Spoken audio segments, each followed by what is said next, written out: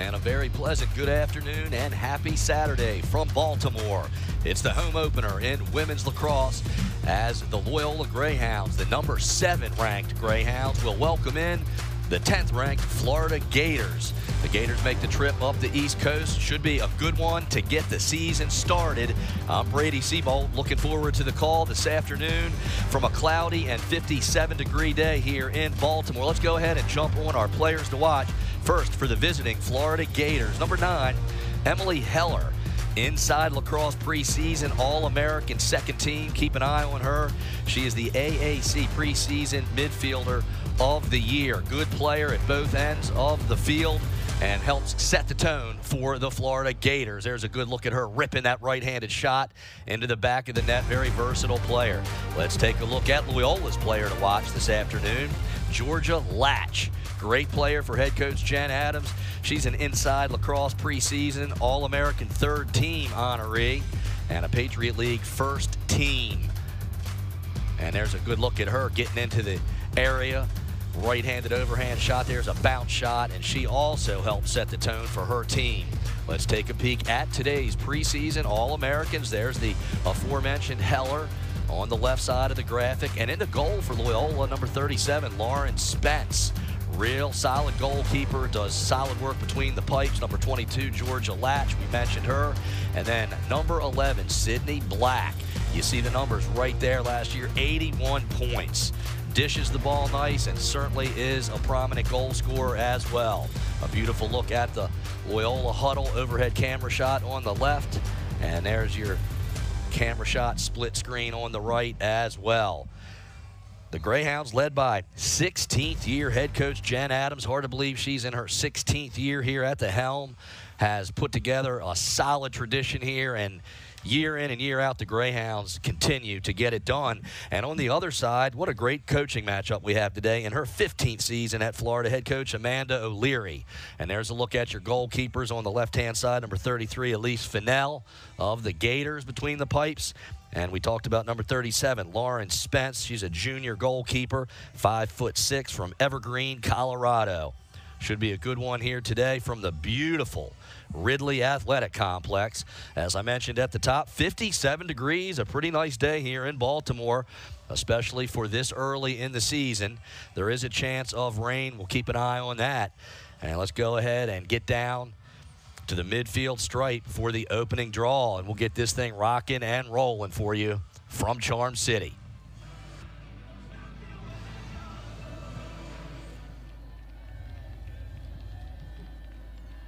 Florida in the dark blue uniforms decorated in orange numbers and letters. Loyola in the ever familiar white home uniforms, tops and bottoms decorated in green numbers and letters. The Greyhounds will work left to right here to get things started. And they control the opening draw, and they'll go to work right away on offense. Just getting underway from Baltimore.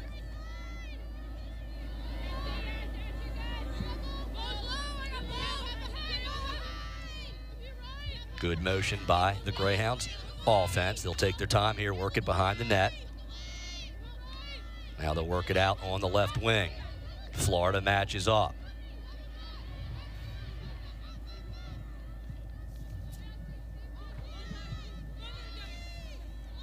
All kinds of time on the shot clock. Greyhounds working on their first possession of the game.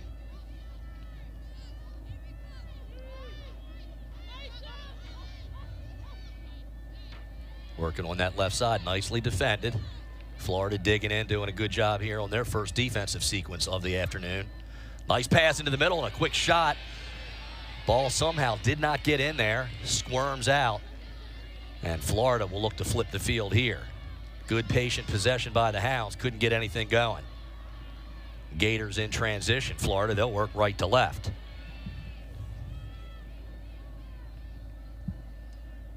Heller works it down for the Gators. Now they'll set up their offensive flow here. Florida's first chance of the afternoon. They'll spread the Greyhounds defense out and work it behind the cage. Hounds match up man to man.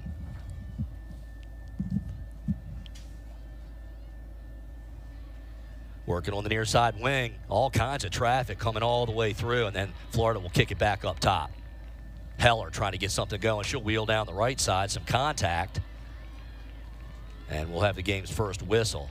13 12 left here in the first half. Here's another look. Heller trying to put some pressure on the defender. Defensive pressure being provided by Chase Boyle right there. And Heller gets tripped up. Free position shot now for Florida. First of the afternoon. Gators with a good chance here. Bounce shot finds the back of the net, and the Gators draw first blood. They will take the 1 0 lead here early. So the tripping foul creates a good chance for Florida. The Gators capitalize. Here's another look. With 13-10 remaining in the first quarter. And welcoming into the broadcast, my broadcast partner Jesse Morgan here for the opener, and Florida just getting on top, one one nothing. Jesse, the home opener here for the Greyhounds. Good energy here in the Ridley Athletic Complex. Should be a good game here this afternoon with uh, two top-ranked teams going at it. Good afternoon, everybody. This is going to be a great game today. Florida is looking to really advance and improve this season, and Loyola's looking to maybe vindicate that loss that they had last year. So it's going to come down to possessions, the draw, and who's going to make the difference on defense. No doubt. And these teams have some really solid history. When they get together, expect good things and dramatic things. This is a heck of a series between these two teams. And Coach Adams, they do dominant work in the Patriot League. The record bears that out, but she consistently likes to do some heavy lifting outside the conference and takes on the best teams in the nation and they are always battle tested as they rip through the calendar and head towards April and May. Iron sharpens irons. You, you can't get better if you're not testing your team week in and week out, and she does a great job of providing that throughout her season. Greyhounds on a nine-game winning streak here at the Ridley Athletic Complex, so they love the home cooking here. They're three and one in their last four season openers, so they're good at getting off to a nice start as well. Florida with the takeaway flips the field. They'll go right back to work on offense with a one nothing lead. Only a few losses for each team last year, so these matchups where you're really against a strong uh, non-conference opponent are important. It'll play a big role in the standings later in the season and going into NCAA's. Yeah, we ha had the opportunity to have a nice uh, chit chat with Coach earlier this week. You can tell she's energized, ready to roll, has a nice realistic outlook on things, too. And to your point, uh, Jesse, they really just kind of want to feel this thing out. We asked her about Florida. She said, hey, we, we will see on Saturday. It's the home opener for both teams. There's not really much to look at. We're going to go out here and get going and uh, try to set the tone for a great season. I know when I was studying for this game, you, there's really nothing to go on. Every year is different. You can't go by the stats of last year. The dynamic of each team is going to change. And there's the Gators pumping it into the back of the net for a 2 0 lead off the free position shot. So that's two opportunities for the Gators, and they clean up on both and take the early lead at the 12 minute mark here in the first half. Here's another look. Not a great hash. Uh, lots of skill. You see, she had to move the goalie with that and shoot into the open space. Florida's off to a really strong start. No doubt. Maggie Hall getting it done. She's a 5'11 senior attacker out of Bel Air, Maryland, so she's got some local representation here, and she gets her team out to the 2 0 lead right at the 12 minute mark. Last year, she had 47 uh, 47 goals and 36 assists. She's balanced. She's big. She can really put points on the board. Loyola is going to have to do something to really stop her. And how about the patience there? She wasn't in any type of a hurry. She sort of committed to the goalkeeper and, and made the goalkeeper kind of commit and got that ball past her for the Gators' second tally of the afternoon. Let's go ahead and get back to the draw circle. And Loyola will control that. They'll go back to work here on offense, down to zip. And a change for them this year is putting Sydney Black on the draw. I mean, she's not the tallest player you've ever seen, but anything on the ground, those 50-50 balls, she's probably got a better chance than anybody in the country. Latch finds the cutter working well without the ball coming right down the slot. They could not convert on the quick stick attempt. And so far, the Gators continue to stand tall on defense. However, they could not get into transition there. Good job by the Greyhounds keeping the ball right down here. And they'll get a second chance on this sequence. Loyola is known for their fast offense. I mean, it's definitely their strength.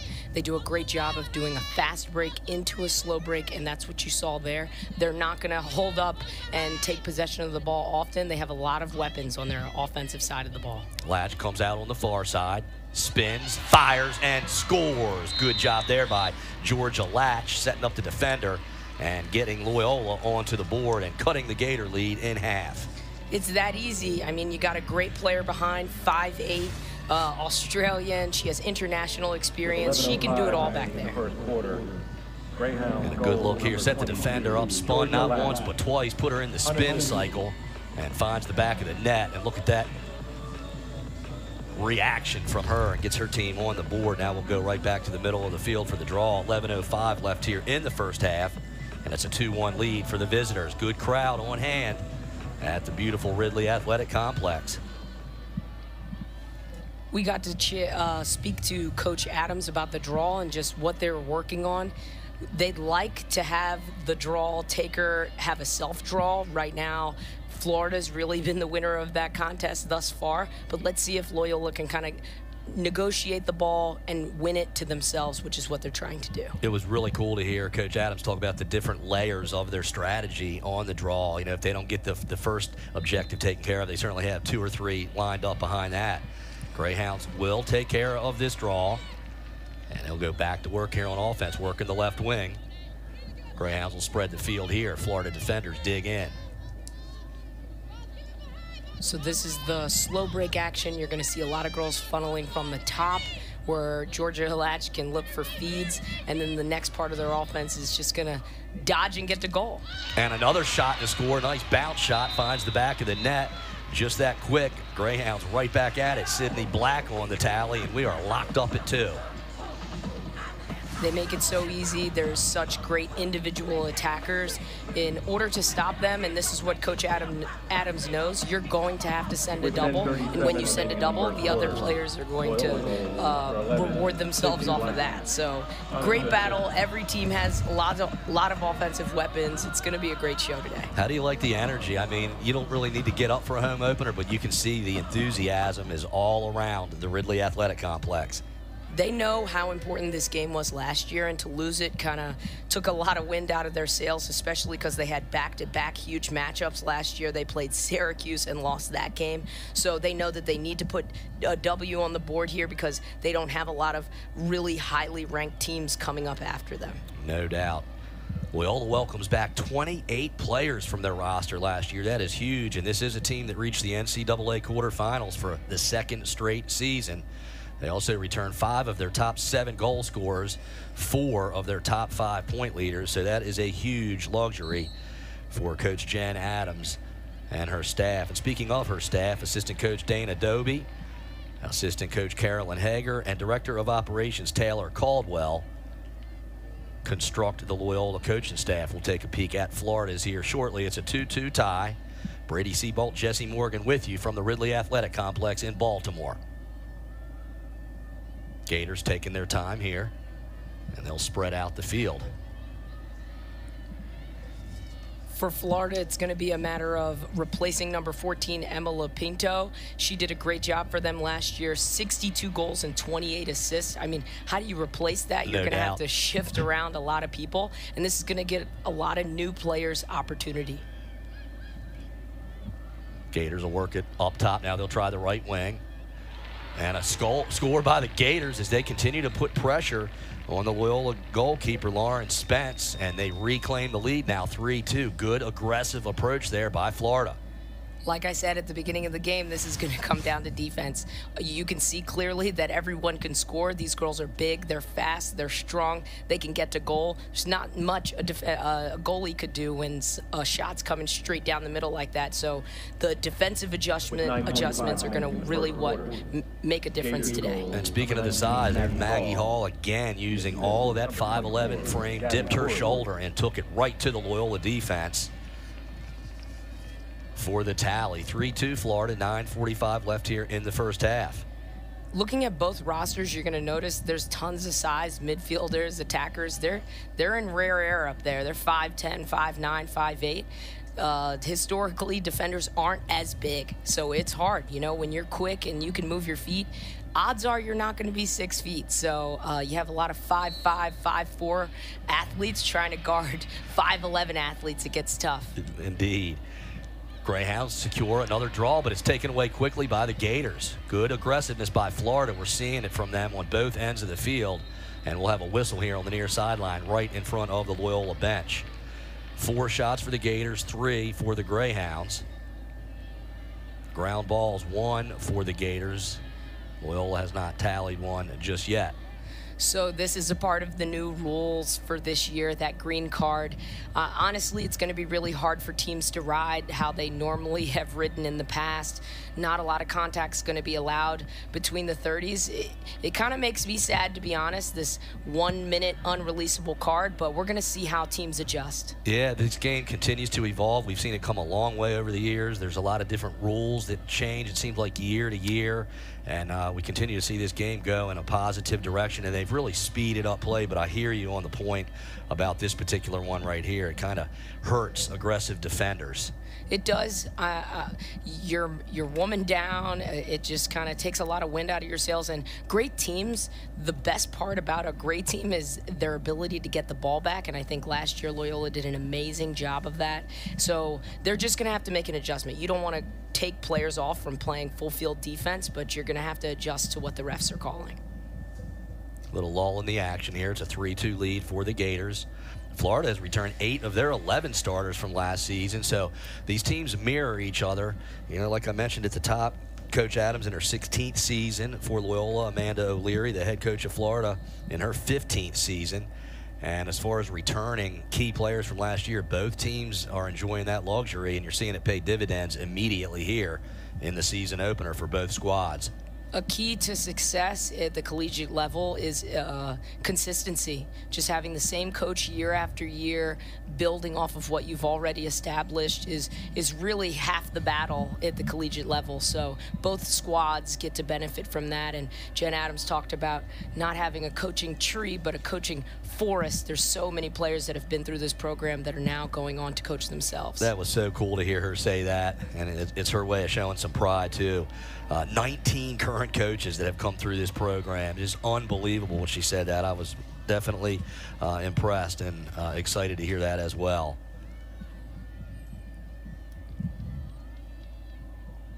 Florida will work the right wing, trying to squeeze down on that Loyola defense. They get it inside. The shot off the mark. There was too much traffic in there. Gators fighting hard for it, still loose.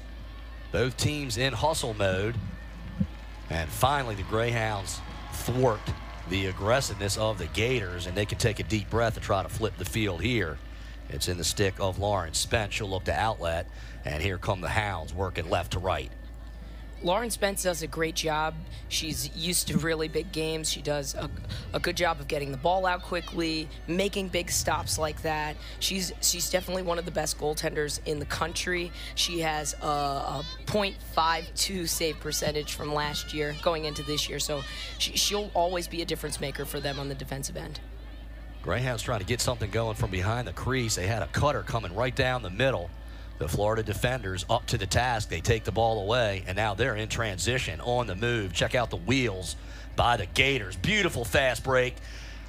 And a whistle stops the action right there. Florida, that was beautiful transition, but they could not finish it as we stop the clock with 7.58 remaining. Another tough hash. Uh, the player's really going to have to get inside with uh, Loyola players flanking her on either side. This is not easy to do. Another free position opportunity by the Gators and it's knocked away. Nice check on the backside by Loyola. We do have whistles, and we'll see what's going on here tough call. I think these are, you know, the refs. This is their first game too. Uh, later in the season, that that might not be called the same. I think it was a lot of stick contact. You're gonna have contact on eight meters. I mean, the, everybody can get in so quickly. They're so long. It's hard not to have contact. But but again, we're gonna make our adjustments throughout the game. So Pavinelli came in there quick, trying to force the action. Took some contact, and Chase Boyle will have a seat for the next two minutes. 3-2 Gators as they look to build on that lead right here, right now. And we just saw Florida sub half their their offense in. I mean, the, these aren't really squads. They look like armies. There's lots of girls. There's lots of options to go in with uh, specialized packages for things like woman up and and things of that nature. Keeping fresh legs out there for the Gators. Nice little nifty shovel shot attempt right there. Did not find the mark, but the Gators keep possession, and they'll continue to keep the pressure on the Hounds here with a 3-2 lead. Nice cutter down the right side. Ball checked away just in time by the Greyhounds, and they'll weather that storm. little miscue. They're they're getting the matchups that they want. They had one defender on two coming through the middle, just couldn't handle the feed. Hounds looking for a good possession here, trailing one as we kiss down on the seven minute mark here. First half action from Baltimore. Florida's definitely being aggressive. That was a double team inside uh, their their 30. So I like to see that even though the calls are being made, uh, both teams are still being aggressive. Loyola taking their time. Most teams do like to take their time just because you're you're down a player, so you want to spread the defense out, get them really wide. Florida gets the benefit from that. You're going to see the the player back on the 12, kind of mirroring the ball. They call that a, a typically a backer position, so they get to benefit. They're going to be woman up for the next few seconds here, and we're going to see what Loyola can do. Yeah, they've done a good job exhausting his penalty, as you can see there on the graphic, just 15 seconds remaining. And now the Greyhounds will look to squeeze down here on the Gators defense, working on the right side, being well defended, some double team pressure. They get it towards the middle. Shot just off the right side. That was Riley Olmstead, five six. The local player here, one and done for the Greyhounds. Florida gets it right back in their stick. The penalty is over, back to even strength, but the Gators now going in transition until we have whistles. And Riley Olmstead didn't play last year, number 12. Uh, she was out due to injury, so it's nice to have her back. You see how powerful she is. I mean, it's not easy. Uh, if anybody can break a double team, it's going to be Sydney Black, and it's nice to have Riley right behind her being able to take that powerful shot outside the eight. So it looked like we were going to have fireworks throughout the, the first half. There were some quick goals by each squad, but things have kind of simmered down here over the last several minutes. There you see the time on a moving clock, 5.40 left before the half.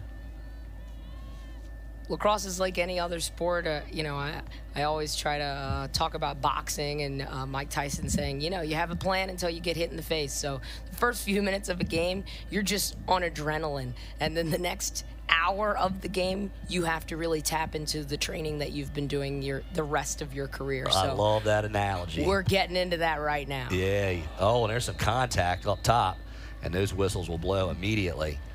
Yeah, and back to your boxing analogy. Now it's kind of they're uh, using their jab, using their footwork. They realize this is a long fight, and uh, the championship rounds uh, are far off. So they'll continue to just dig in, like you say, and stay committed to their training. So that'll stop the action with 5:14. A Loyola player will come off again. So the Gators enjoy the player up advantage for another two minutes, and we'll see if they can capitalize here. You're enjoying this afternoon's game right here on ESPN. And a shot to score by the Gators. That didn't take any time whatsoever. And Florida doubles up on Loyola 4 2 at the 5'10 mark. Good job by the visitors.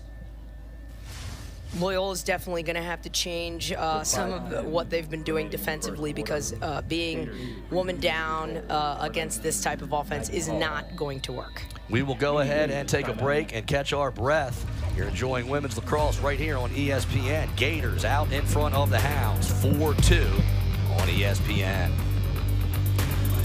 among the NCAA leaders in graduation rates annually, with graduates moving on to serve in all facets of society by using their talents and voices for positive change. We are today's scholar athletes. We are tomorrow's leaders. We are the Patriot League.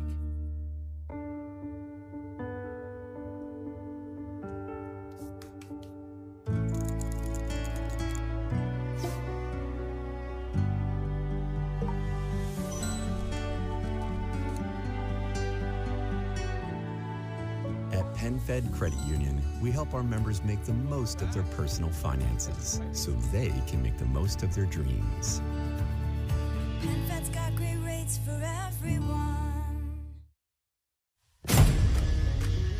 Being ready, Like, really ready? it takes work. It takes work. Discoveries take time. Rough drafts are rough. and drills, they drill you. But no matter the field, Greyhounds never stop, always going the distance, together. We're not just ready, we're Loyola ready.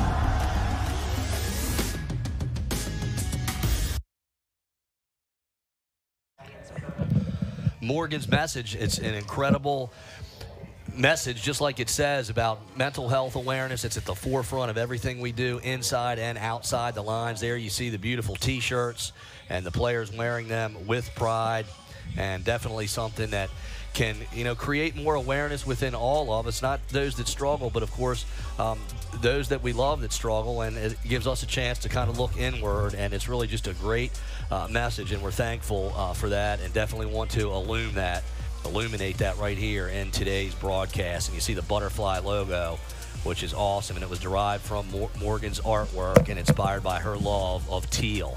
So just a really feel good moment. We appreciate uh, the men and women here promoting that message.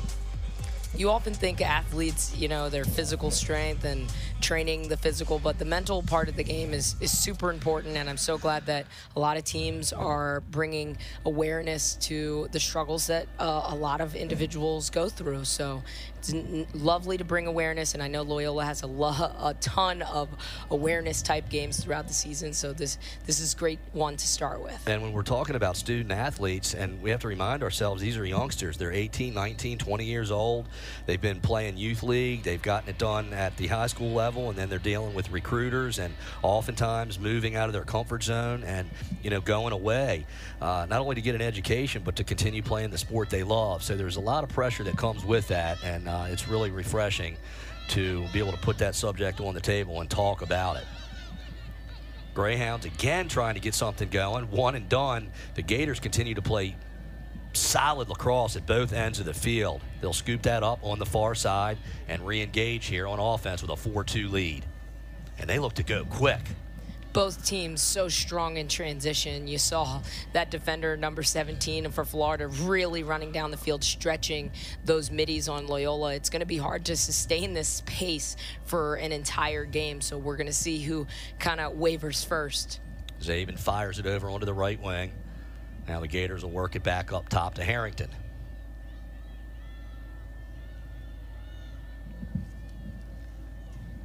Pavinelli trying to dip that shoulder. A lot of traffic in there. Good interior defense by the Greyhounds. Florida comes back with the rebound, though. And another shot. This one knocked away. Good job by Lauren Spence keeping that out of there. Defensively, Loyola's, for the last few years that I've watched them play, they're, they're a one-on-one team. Uh, so they're they're definitely going to meet their match today with these attackers. We're going to see how they package their defense, de defensive slides to kind of contain certain players in certain positions. Coach Adams will go to her bench and get some players off and get fresh legs onto the field. Just 3.54 left here in the first half. Don't go anywhere at halftime. We'll have programming for you and, of course, highlights and statistics from this game. And we'll also get you set up for second half action from the Ridley Athletic Complex. Low scoring game here. There you see the graphic four on four inside four minutes remaining. And it's Greyhound ball. They'll work the far side it's going to be a long season for the officials if we're going to have to deal with this many many fouls. I mean, this this isn't. It really slows the game down. So everybody's going to have to figure it out. The officials are going to have to figure out how to call it, and the players are going to have to figure out how to play within the rules. So indeed, uh, and so many of the changes have been in an effort to keep the game moving and actually increase the pace of it, and it's come a long way in that regard.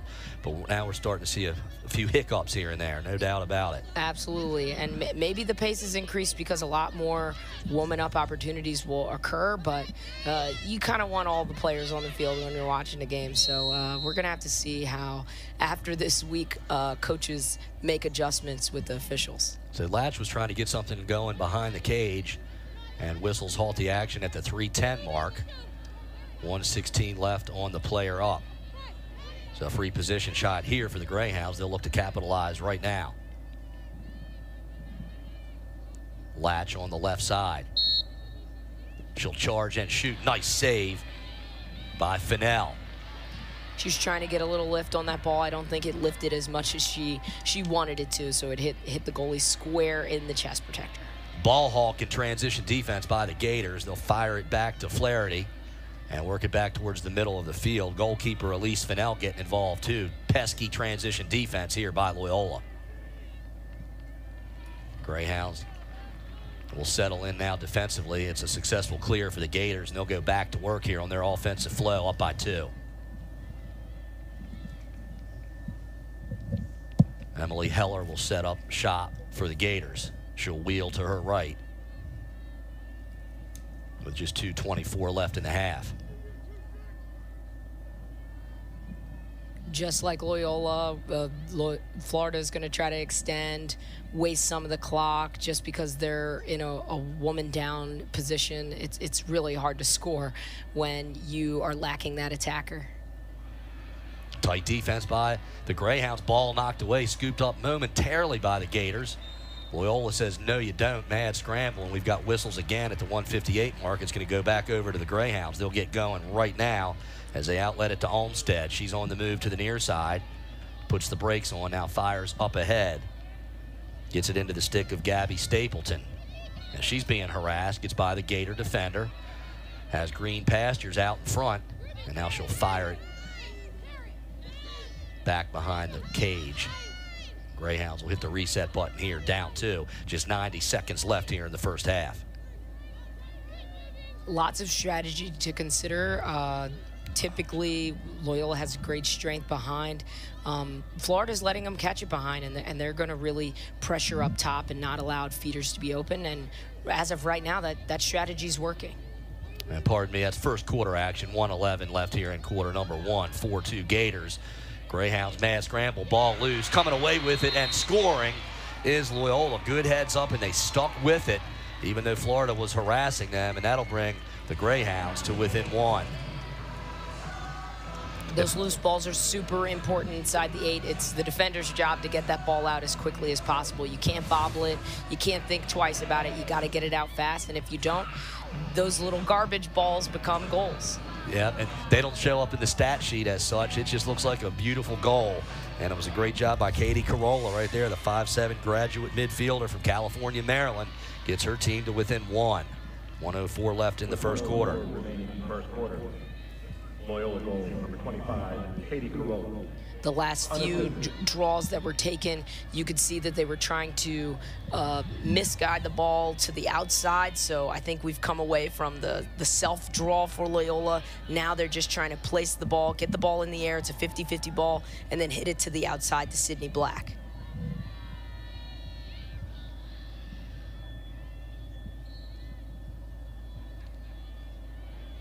Hounds come up with this one, and they'll go right back to work now on offense, and they look to go quick. Here's Black working down the near side. Dips her shoulder, has some room, fires the shot, and it's snuffed out by Finnelle. Great save. She made that look easy, and it wasn't. I mean, Sydney Black had a, a great look at the goal. She was coming down the right alley, and typically that's in. Um, so great, great goaltending, quick hands. Gators right back to work on O. Up one. This will be their last possession of the quarter as we're inside 30 seconds.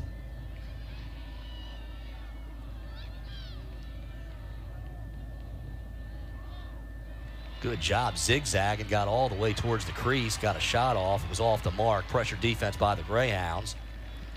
Slide came. It was adjacent. The top defender came over and slid just in time, just to, enough to redirect that ball.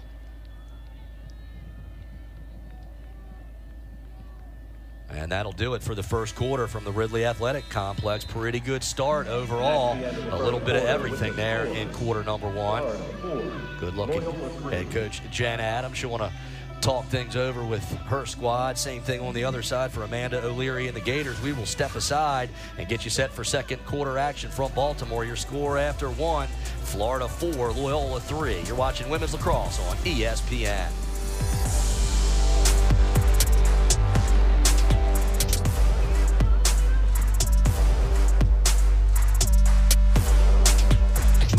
Like this, you're faced with an important question.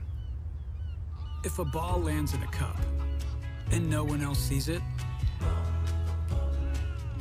does it count? You bet your sweet five iron it does. Somewhere to smile about. Ocean City, Maryland. Oh wait, he's still going. Okay. Nice.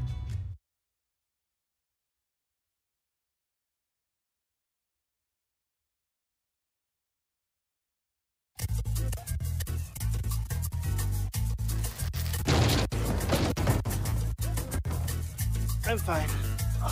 Really? I'm fine. I'm fine. Hello Brave by LifeBridge Health, the fast, simple way to find Maryland's best doctors. Ah, got it. Because sometimes I'm fine. isn't fine.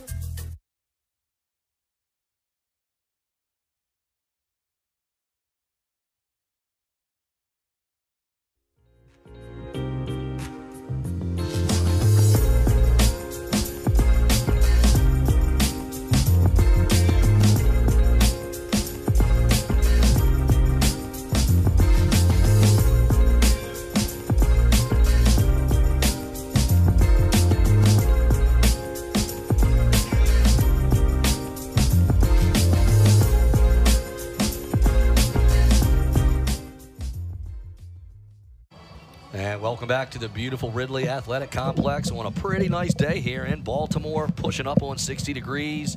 So far, no rain. And the Gators out in front, 4-3. Let's look at some first quarter statistics. Ground balls, the Gators with six, Loyola with three. Draw controls, Greyhounds have been solid there. They've outdone the Gators by a 6-2 count. Clears Florida steady at six for six. Greyhounds four of five. And saves two for Florida, one for Loyola. Turnovers, the Gators with six and the Greyhounds with four. And we'll see how things shape up here in quarter number two. Gators scoring, it's been Maggie Hall. She's already sporting the hat trick with three. Heller with one. And Gabby Corey has an assist for the Gators. Greyhound scoring. Latch with one, Black with one, Corolla with one, and Chase Boyle with one helper. Let's go ahead and get going here in the second quarter. Gators working left to right. Pay close attention to see who Loyola puts on Maggie Hall. I mean, I'm quite sure she was on their scouting reports, but it's one thing to see somebody on paper and, and then to see them real in, in live action. So making those defensive adjustments are going to be super important for Loyola because she's she's red hot. The Gators will work on that left wing and now send it back up top. And they'll slowly work it around the perimeter.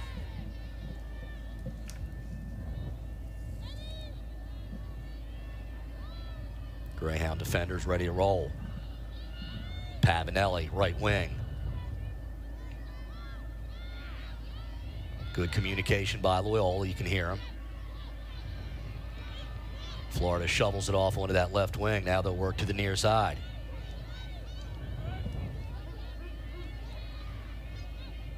Solid defense in the middle. It altered that shot. No good to the near side of the net. It'll be Florida ball. Big hedges to the ball by Lo Loyola. They're doing a great job of playing solid team defense. Uh, what Florida needs to do is when your defender leaves to go hedge, you need to move. So right now they're not really moving next to ball. They're allowing that defender to come back and play them. So let's see if that adjustment's made. It was a beautiful pass to the inside. Paisley Egan got it, but the Loyola defenders clamped down on her. It'll lead to a free possession shot for the Gators off the near side. And a quick shot and a bounce off the mark. Tried to catch Lauren Spence on her heels, couldn't do it. Gators maintain the possession with a 4-3 lead.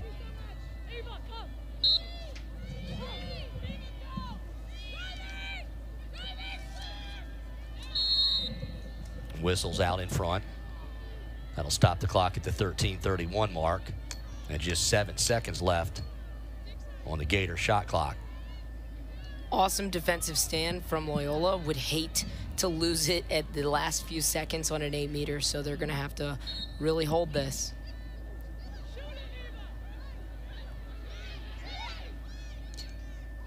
Left-handed shot, no good. And Lauren Spence getting on it quickly. So Loyola does, in fact, weather that storm. Florida had several chances there, but could not tally.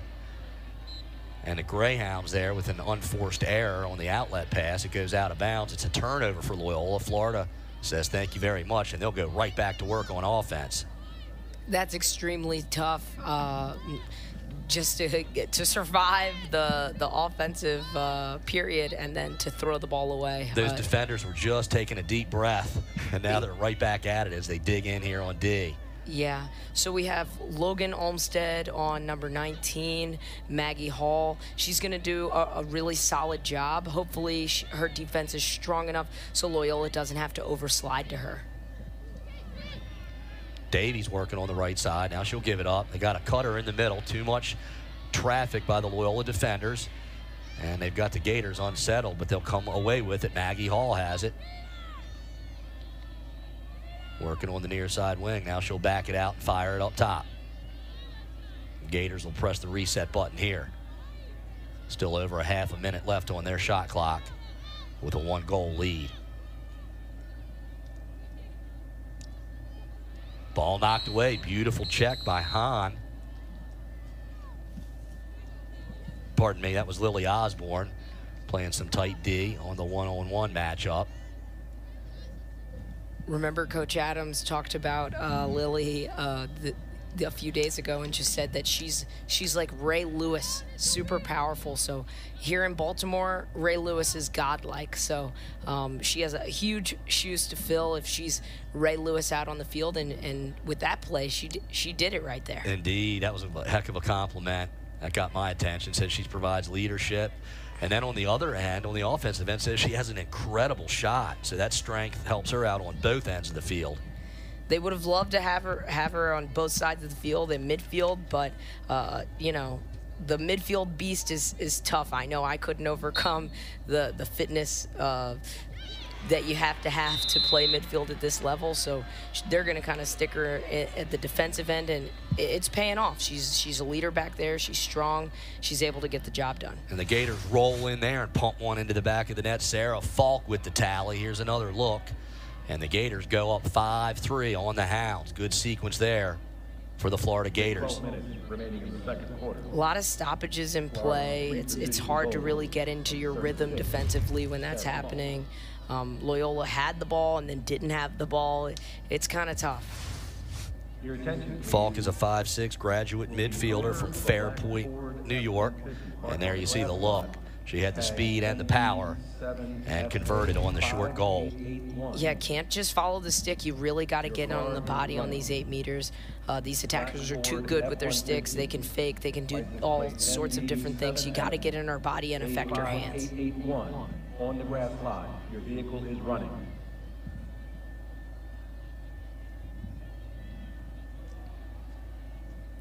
This is a big draw. Uh, you know, 6-3 is a, a, a, big difference when you double a team up. So uh, Loyola's really going to have to figure out a way to get more possessions. I think they're used to dominating the draw circle, and to have a team kind of take over in this way, draw to themselves, really dictate the ball, it's going to be tough. It's an uphill battle. So the Gators control that draw, and with that 5-3 lead, they'll get busy on offense once again.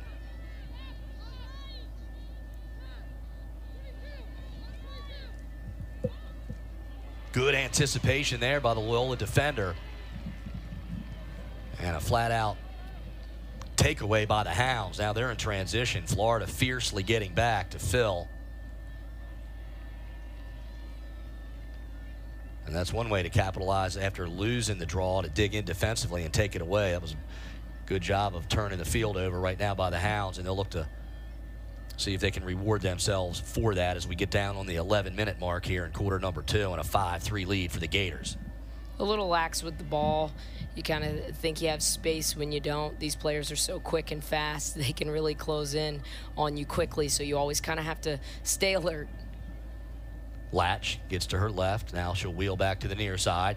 Sneaky underhanded rocket, no good. Kicked out of there. Credit Finnelle with another save. Greyhounds, though, scoop up the rebound, and they'll go right back at it. It's not easy to do that worm burner to get the ball to skid along the the the ground like that. I mean, that's that's advanced level stick work, and she makes it look so easy. That happens with my golf drive sometimes unintentionally. Mine too. yeah. Sydney Black will work the top side. Picks up some double team pressure and gets knocked down there on the perimeter, and we'll have whistles, of course. You saw that early that. slide. They have to do it. You know, Sydney Black is a, is an amazing weapon that Loyola has. She can get to the goal. So Florida sent an early slide, and then unfortunately they gave her a, a big push, and she's going to be award the eight, awarded the eight meter. And that was when Ashley Dyer, a 5'8 freshman defender, she's local also out of Elkridge, Maryland, went to Glenelg Country School. Always good to get some local flavor back here in Baltimore. Free position shot now for the Hounds off the right side. Everyone's getting these tough hashes. I love to see how creative they can get with them. Sometimes it's a pass, sometimes it's pull it out, regain possession, which is what she did. Mm-hmm. Right on cue. Now they'll re-engage the offense here. Near side, Corolla gets it onto the wing.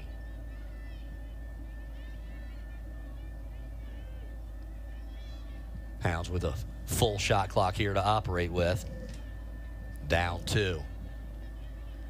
Florida's in a zone. They have a defender in the middle. We're going to have to watch out for her, make sure she stays out of three seconds. Beautiful job getting onto the interior and firing the rocket into the back of the net. And it's a goal for Sydney Black, and the Greyhounds now cut it back to one.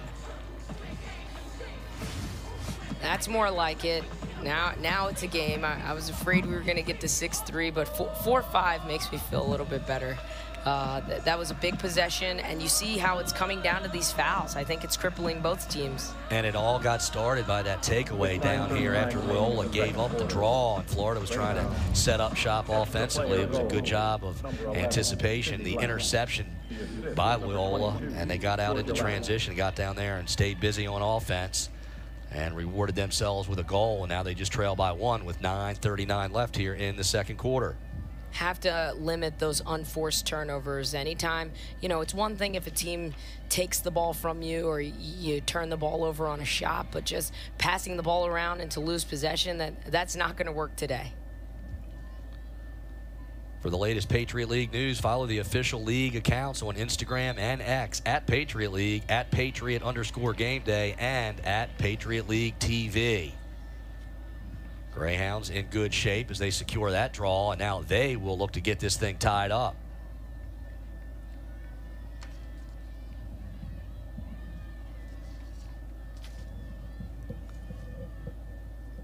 Hounds will work it back over onto that right wing. Here's the double. As he runs right by it and shovels it in for the goal. Good individual effort there. What determination by Sydney Black. And that was the equalizer as we're now locked up at five. Going underneath is just the kiss of death for attackers. There's no slide underneath. The slide came from the top, so she wiggled her way in with all that speed to get underneath where there's no double defender. And then I, I don't know if you want to call that a Twizzler, uh, uh, shovel shot, but she put a lot of twang on that one. It was upper 90. I like the Twizzler. Yeah. Darn right. 5-5 with 9.09 left in the second. And Greyhounds now have grabbed some momentum as the sun tries to peek out here in Baltimore. The number seven Greyhounds have just tied up the number 10 Gators. So far, so good in the season opener for both squads. There's a good look at Chase Boyle of Loyola and Liz Harrison of the Florida Gators. Harrison, a 5'8 senior attacker from Lake Worth, Florida.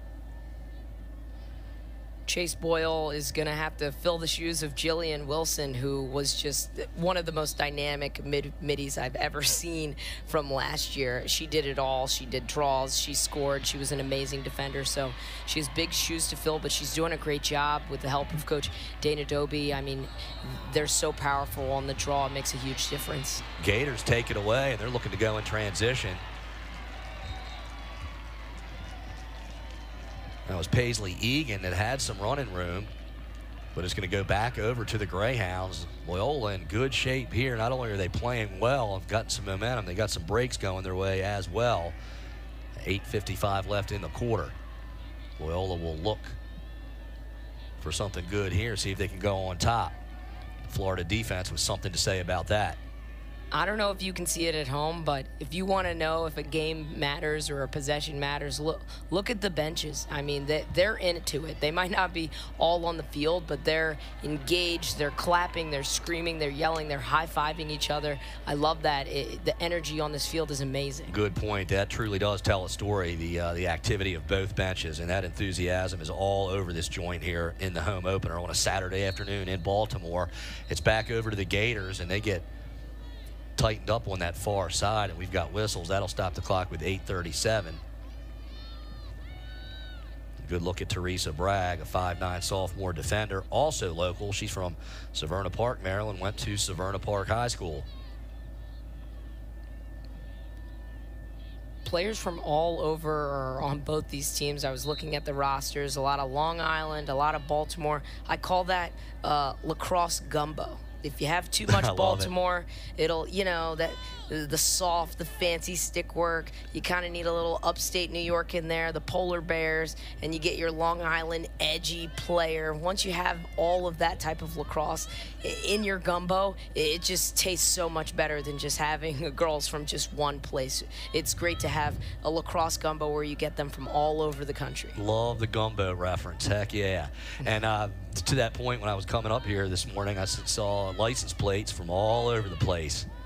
And that is refreshing to see. This game has continued to expand and evolve, and uh, it elevates itself year after year.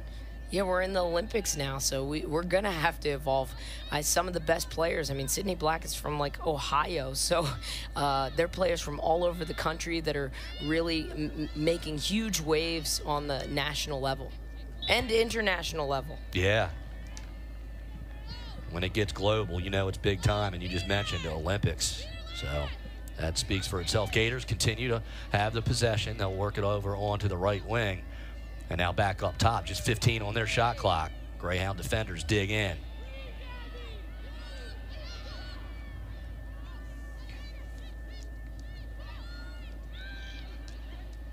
Just four to shoot, and just in time, the Gators get it in and get the tally and reclaim the lead 6 5 lacrosse is one of those weird sports where you really can't prevent somebody from shooting. I mean, these these kids can shoot from all over. They can shoot with their left. You can shoot with them right. Uh, the best thing you can do is put your goalie in a position where she can expect the shot. We're going to step aside for media timeout. 7.09 left. It's a 6-5 lead for the Gators on ESPN. Live sports ESPN Plus Originals. The exclusive home of the complete 30 for 30 library. Exclusive articles and tools. Top leagues and tournaments. Best stories in sports. On ESPN Plus. Live sports ESPN Plus Originals. The exclusive home of the complete 30 for 30 library. Exclusive articles and tools. Top leagues and tournaments. Best stories in sports. On ESPN Plus. Live sports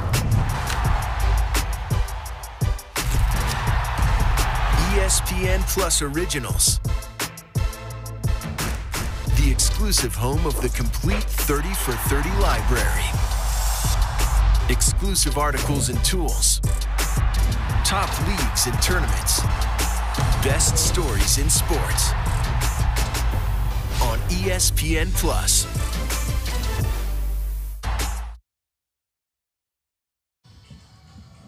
PenFed is the official credit union of the Patriot League. Herff Jones. Herff Jones is proud to be the official championship jeweler of the Patriot League and TIAA. TIAA is the official retirement planning partner of the Patriot League. 7.09 left before the halftime intermission. And it's a 6-5 lead for the Florida Gators. Brady Seabolt, Jesse Morgan with you on the call on ESPN. Jesse, what do you think both staffs are thinking right now as we're starting to maneuver through most of the first half, got the early game jitters out, and now we're kind of flowing. How do you think each team feels about themselves up to this point? You want to stay within striking distance. Uh, you don't want to get down by three, four, five goals. You want to keep this pretty much a one-point game. And if you can, you want to separate. But that, that's going to be hard to do tonight just because there's so many weapons on attack. And these, these players are doing such a great job of moving the defense, creating imbalances, and scoring when they get an opportunity to shoot. Back down to the midfield strike. Ball goes straight up. And the Greyhounds are up to the challenge, although Florida's staying with it. And somehow getting out of there with the draw is Chase Boyle. And the Greyhounds now will look to get busy on offense, down by one. Inside seven minutes remaining in the second quarter. Good speed right down the middle. There's Ray Lewis. No doubt. I love it. One of those Gators had to stop the ball, and they finally did. But the Greyhounds, you can still see, are in acceleration mode. Now they shovel it back to Georgia Latch, and she'll engage the Greyhounds offense from behind the net. Yeah, one of the biggest differences you might. Oh, uh, the defender fell. And that ah. ball did find the back of the net. At first, I thought it was a nice save by Finnelle, but it trickles into the back for the Greyhounds, and we are tied up again, this time at six. I'm going to guess she was trying to deny Sydney Black the ball, which I know really quick players salivate when you do that. I mean, you can't stay with them or get out, so I think she might have put her on ice skates out in space and then got an easy backdoor goal. And actually, Finnelle did get her stick on it, but that ball had so much hot sauce on it. Speaking of your gumbo, it found the back of the net, and it was an equalizer for the Greyhounds. So they continue to feel good about themselves. And back to your boxing analogy, they continue to exchange heavy blows. And this is a good back and forth match here in Baltimore. Yeah, this is going to be a heavyweight bout. It's going to go 12 rounds for sure. So um, every punch, every jab counts. And, and that was a tough jab because uh, the defender, for some reason, kind of lost her balance. But it, it's great to see Loyola capitalize on it. And it was a good job of uh, Sydney Black working without the ball. She kind of came down that slot and was on the move. And when she got the feed, she was already ready to let it rip and had enough on it to get it past Finnelle for Loyola's sixth tally. Let's go back down now for the draw. the last couple, Chase Boyle's been able to draw to herself, which is which is great. They're getting back to their bread and butter. Yeah, she's been getting in a groove where that's concerned. This one knocked around. Giving chase is Latch. Still loose. Good execution by the Greyhounds. They'll look to push here in a 6-6 tie. Black working on the left side. Defender's super physical with her, which is what you have to do. You know, if you give her space, she's going to suck it up. So you, you got to be physical. You got to make sure Sydney Black knows you're there. And you probably want to deny her the ball as much as possible. So that's exactly what you're doing. You see the face guard now is going on. And uh, let's see what Sydney does with it. She's used to being here. Boyle working down the right side. She picks up some contact now, fires it back onto the wing, and a shot and a score for the Greyhounds. at Loyola grabs the 7-6 lead. Textbook lacrosse right there. Beautiful set piece by the Hounds. So once you start face guarding a player, it creates imbalances on your defense because now you don't have a sliding, helping defender. So now it really helps other players get open and generate offense. There's a good look at the replay. Here it comes again, right on down that right side. Number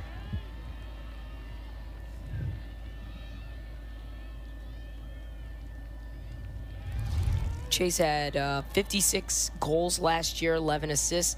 That just means she, when she's going to goal, she's going. She's not really looking to pass out of it. She has great size, vision. She's usually the recipient of a lot of feeds, so uh, she's really picking up where she left off from last year and a difference maker on the field.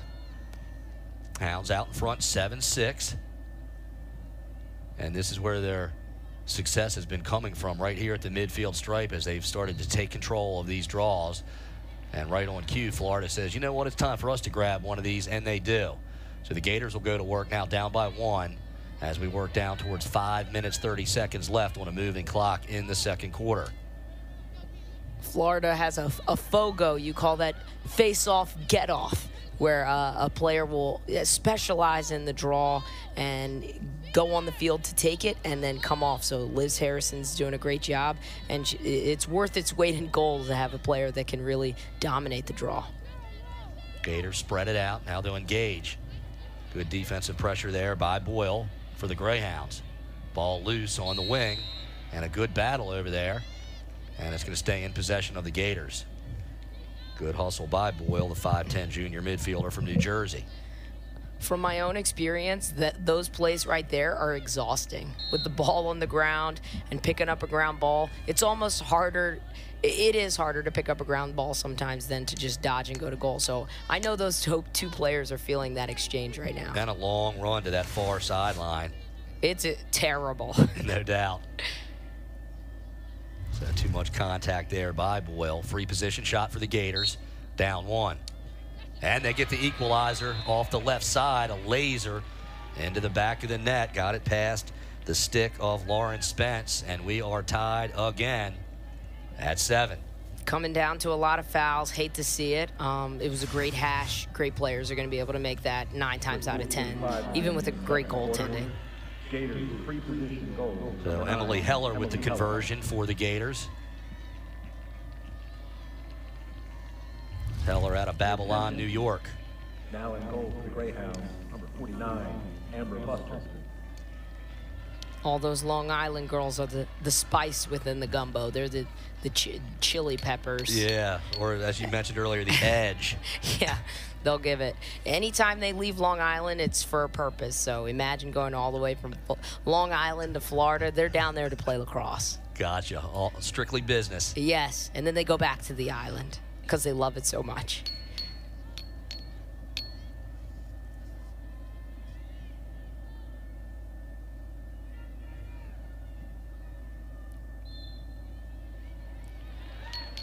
Florida grabs themselves another draw.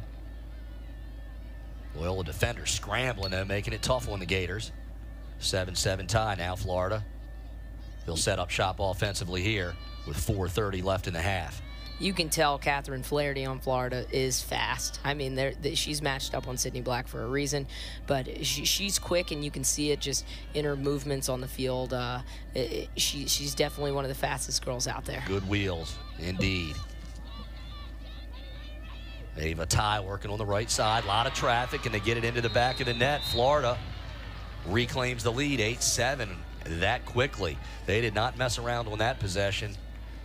Got deliberate and put it past the goalkeeper, Lauren Spence. Good job by Florida.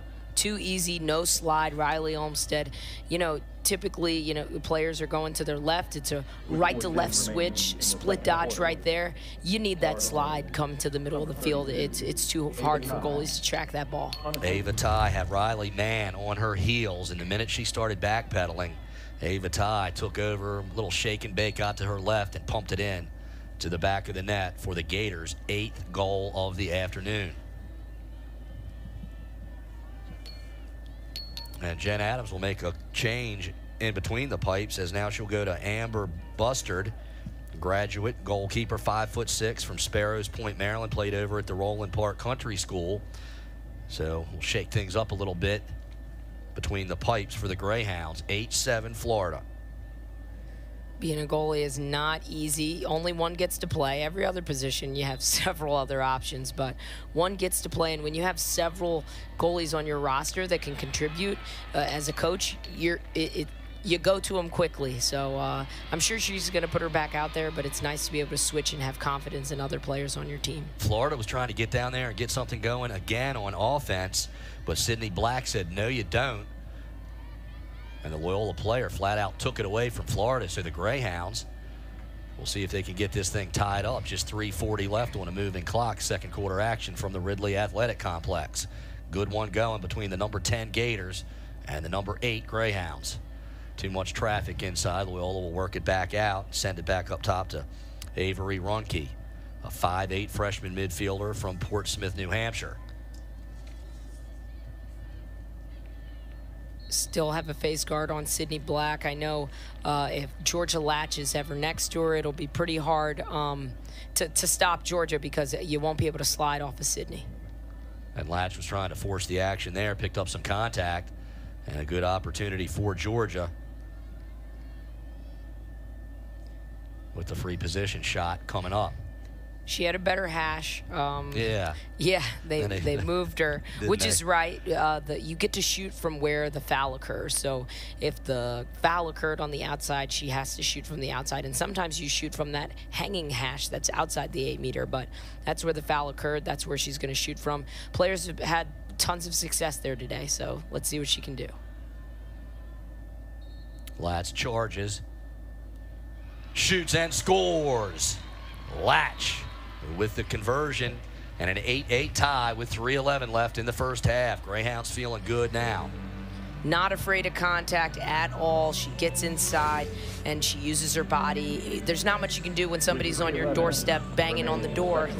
Uh, she has a really good stick. She can move the goalie, and that's what she did. Great look by our technical folks here, doing a good job. And a great camera shot there of the 5'8 junior attacker from Melbourne, Australia.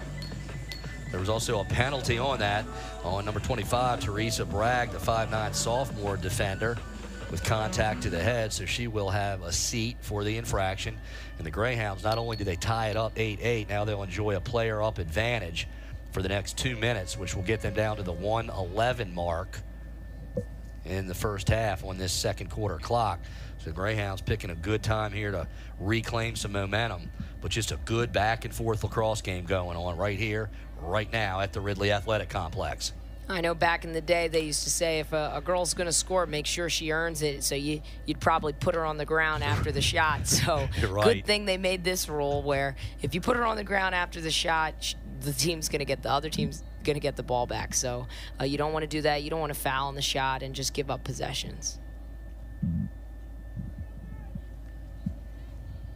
Good look at Coach Adams, the 2001 graduate of the University of Maryland, season number 16 here at Loyola.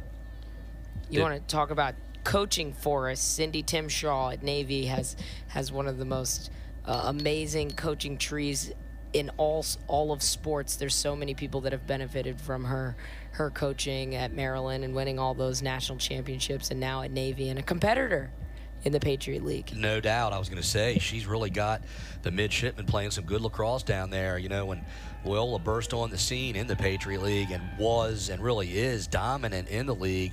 Uh, however, Navy uh, will square up with them. Uh, they have beaten Loyola before, and that's developing into a pretty good rivalry. So props to the Navy midshipmen. I did want to give a shout out uh, to the Gators coaching staff. We mentioned Amanda O'Leary in her 15th season at Florida, 29th season overall.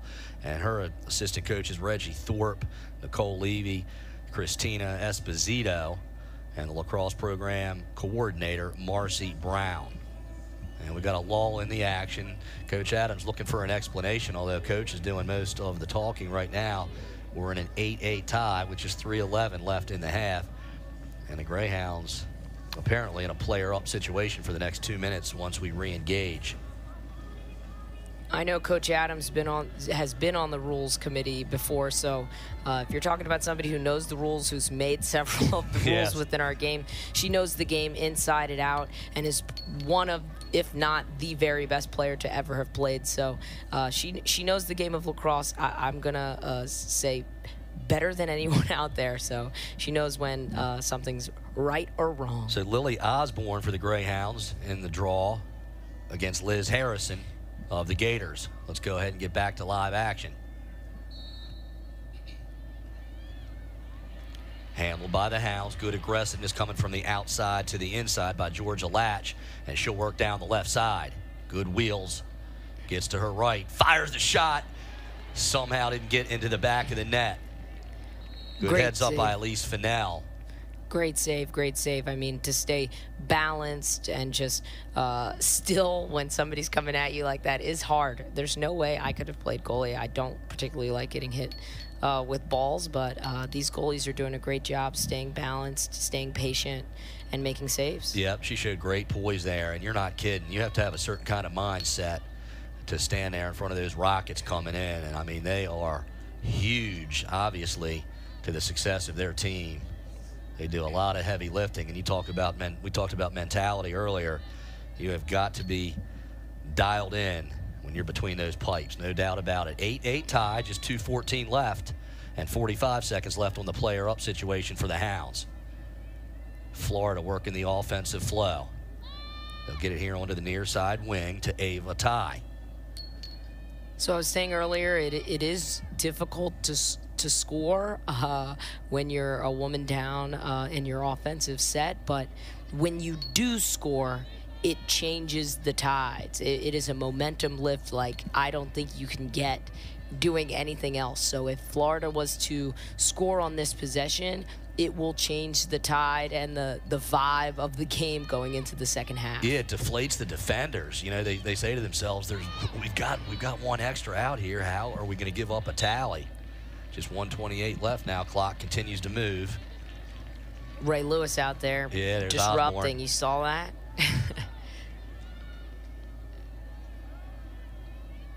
Good aggressive defense by the Gators defenders there in transition. Some double team pressure. It does draw a whistle. So we're back to full strength now as Florida gets released from the penalty.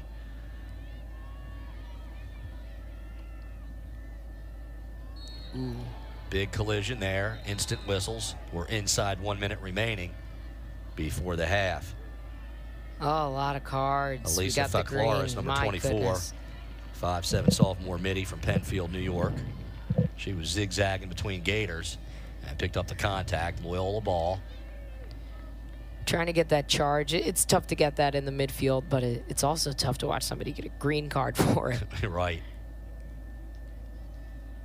Hounds get it up ahead to Runke. Loyola looking for something good here to see if they can't sneak one more goal and take a lead into the locker room with them. The Florida defenders, though, up to the challenge, no doubt. There are imbalances everywhere. So you see there's two, three actually on the crease with the rover in the middle. Loyola's going to try to create an imbalance where two defenders are stuck guarding one. Clock stoppage at 26 seconds. Foul off the ball.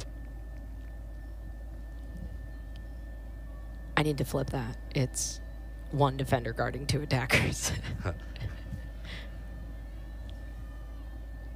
Anna Ruby has it. She'll peel back and reset the flow here for the Greyhounds. Just 20 seconds left in the half. Hounds looking for something good here. Just 15 seconds left. So they started with one behind, and now you see there are two. So if we add any additional players near the crease, there will be an extra player. Seven seconds left in traffic. Shot high off the mark. Greyhounds pick up the rebound, but there you hear the horn, and both teams will go off the field and into their respective locker rooms for a halftime break, a well-deserved break, and a real solid half played by both squads. A good one going here in Baltimore. Don't go anywhere. We've got some programming for you, highlights and statistics, and of course, we'll get you ready for second half action. We're going to step aside your halftime score. We are locked up at eight. Florida and Loyola in a good one. You're enjoying women's lacrosse right here on ESPN.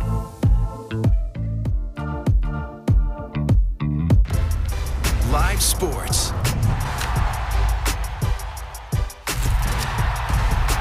ESPN Plus Originals. The exclusive home of the complete 30 for 30 library. Exclusive articles and tools. Top leagues and tournaments. Best stories in sports. On ESPN Plus. Live sports.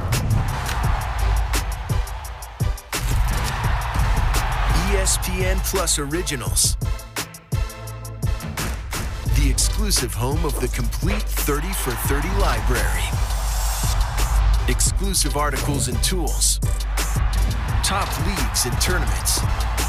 Best stories in sports. On ESPN Plus. Live sports. ESPN Plus Originals. The exclusive home of the complete 30 for 30 library. Exclusive articles and tools. Top leagues and tournaments. Best stories in sports. On ESPN Plus. Live sports.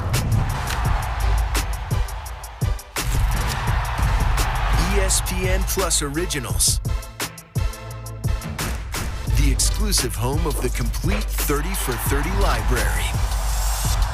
Exclusive articles and tools.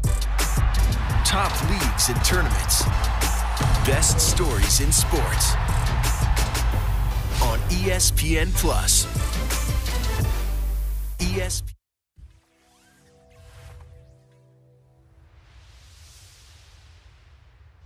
Loyola won its fourth straight Patriot League championship in 2023, and the Greyhounds are back once again as the favorite to win it all. Garnering 162 points and 18 first place votes, Loyola topped the 2024 Patriot League preseason women's lacrosse poll as the Greyhounds look to win their eighth league championship. Army West Point is in search of its first title, and the young program in its ninth year earned a pair of first place votes and 140 points to finish second in the poll. Black Knights are coming off their best season, finishing 15 4 overall, 8 1 in league play, and advancing to their first championship game. Navy lands third in the poll with 132 points, and Lehigh is fourth with 118. Boston U rounds at the top five with 92 points. The Patriot League preseason Attacker of the Year is Loyola's Georgia Latch. The junior has a pair of major awards, including last season's Attacker of the Year. She scored 89 points on 45 goals and 44 assists, and has 83 goals and 82 assists in her two years at Loyola. The Patriot League preseason midfielder of the year is Army 2 sports star Bridget Duffy. The first team All League soccer player from the fall is the reigning Rookie of the Year in lacrosse, and the sophomore returns after scoring 56 goals and 26 assists last spring. The Patriot League preseason Defensive Player of the Year is Loyola's Lily Osborne. The junior helped the Greyhounds finish number two in the NCAA in scoring defense with 7.09 goals allowed per game. She had 18 ground balls and 11 caused turnovers in 22 games. The Patriot League preseason goalkeeper of the year is Loyola's Lauren Spence. The junior was the goalkeeper of the year last spring, finishing second in the nation with a 7.18 goals against average and fifth in save percentage. She was the fourth straight Loyola keeper to win the major award. For more on the preseason awards in women's lacrosse, log on to patriotleague.com and catch all of the live action this season on ESPN Plus. Live sports. ESPN Plus Originals. The exclusive home of the complete 30 for 30 library. Exclusive articles and tools. Top leagues and tournaments. Best stories in sports. On ESPN Plus. Live sports. ESPN Plus Originals. The exclusive home of the complete 30 for 30 library. Exclusive articles and tools. Top leagues and tournaments. Best stories in sports. On ESPN Plus. Live sports. ESPN Plus Originals. The exclusive home of the complete 30 for 30 library. Exclusive articles and tools. Top leagues and tournaments. Best stories in sports. On ESPN Plus. Live sports. ESPN Plus Originals. The exclusive home of the complete 30 for 30 library. Exclusive articles and tools. Top leagues and tournaments. Best stories in sports. On ESPN Plus.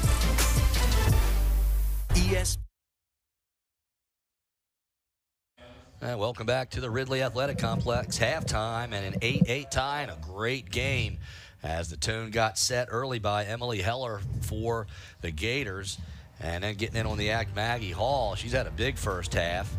And of course, for Loyola getting it done, Georgia Latch, there's a good look at the goal she had, kind of working towards the inside, putting a hard shot uh, between the pipes. And then working off the left side there, here's a good look at Sydney Black. And it's really just been a good, good first half overall by both squads. And if, Jesse, if the first half is anything to uh, tip us off, we should be in for one heck of a second half and a huge finish here between the number seven and number 10 teams in the country. It's going to be a tight game, and that, that's what we signed up for. These are two great opponents, great coaching staffs, amazing recruits year after year. I think the biggest difference maker for me would be the fouls. There have been 10 fouls, 10 green cards, yellow cards issued out, and that that's going to make a difference when you're warming up for two and one minute at a time. And then, you know, last year there were 37 free positions against uh, Loyola, and there's already been five in one half today. Yeah, so, that's where Florida's doing their heavy lifting right there on the free position shots. Yeah, and then they're capitalizing as difficult it is to. It's not exactly a free throw because defenders are collapsing on you, um, but they're making the most of it. So the team that can lessen their fouls and really take advantage of possessions is, is going to win this contest today. So for the Gators, Maggie Hall with four, Emily Heller with two, Sarah Falk with one, and Ava Ty with one. Also assists, Gabby Corey with one, Madison Waters with one. And for the Greyhounds, four goals by Sydney Black, two by Georgia Latch, two by Katie Carolla. And as far as helpers, two assists for Boyle and two for Latch. So that's a good look at the numbers, and they certainly do tell the story in the first half. And there's a good camera shot of the fans here at the Ridley Athletic Complex at the home opener here. So far, so good. We will step aside and get you set for second half action from Baltimore. There's your score 8 8 tie. You're watching women's lacrosse on ESPN.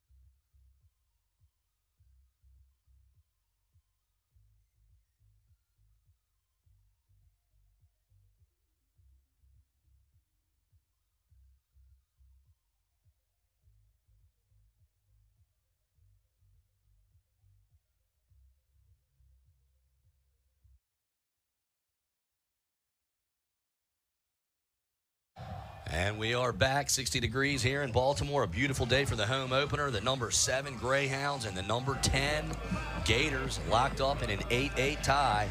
A terrific first half up and down the field for both squads. And the Greyhounds and Gators both out of their respective locker rooms and getting loosened up and ready for what should be a heck of a second half. What do you think the message is from both coaching staffs to their respective squads, Jesse? Clean it up defensively, play tough. You know, don't don't, don't just uh, because the refs are, are calling it, you can't stop being physical. You still have to be physical, but play within the confines of the rules. And then when you get opportunities to score, you got to hit hit the white part of the cage. You can't go over, can't hit the goalie. You know, you have to start scoring on your attempts. The Greyhounds will go on the road for two at American and at Johns Hopkins before they return here to the Ridley Athletic Complex on Saturday, March 2nd against the Penn State Nittany Lions. And taking a look at the Gators after this one here in Baltimore, they play Scotland. It's a 5 p.m. opening draw on February 14th on Valentine's Day. Then they've got back-to-back -back road games at North Carolina and at Maryland. No big deal. So then they take Jacksonville on at home. Yeah, those are two back-to-back -back tough tests right there for the Gators, squaring off against the Tar Heels and the Terps. So it's full steam ahead for both of these programs. And so far, so good in the opener. Yeah, last year, Florida only lost a couple games. There were four losses to UNC, Maryland, James Madison, and then in NCAA's to Notre Dame, uh, which was a one-point game. So this is the best of the best. This is the best lacrosse the nation has to offer, and Florida tests themselves year in and year out. Even though they're kind of an outlier down there, you know, there's not too many in-state competitions that they can do like it is up here in Maryland, but they do a great job. And Coach Adams will reinsert the starting goalie, Lauren Spence, number 37, back between the pipes. She got a breather towards the tail end of the first half when Amber Bustard came in. And so Spence will get right back out there and get set for the second half. Both teams have separated from their benches. They are out on the field, and we are just about ready to get things pumping here in quarter number three. That's what good coaches do. You believe in your goalie, Lauren Spence got you know got them far last year. She's a great goalie. You kind of want to show her that you have confidence in her and give her another opportunity. Obviously, the first half of this game did not start how she imagined, but she has enough athleticism and ability to kind of make a change for the second half. And instead of going to the draw circle to start the half, we will start it off with a possession for the Greyhounds since they were in that player up situation. So good opportunity here. Good backside help by the Gators.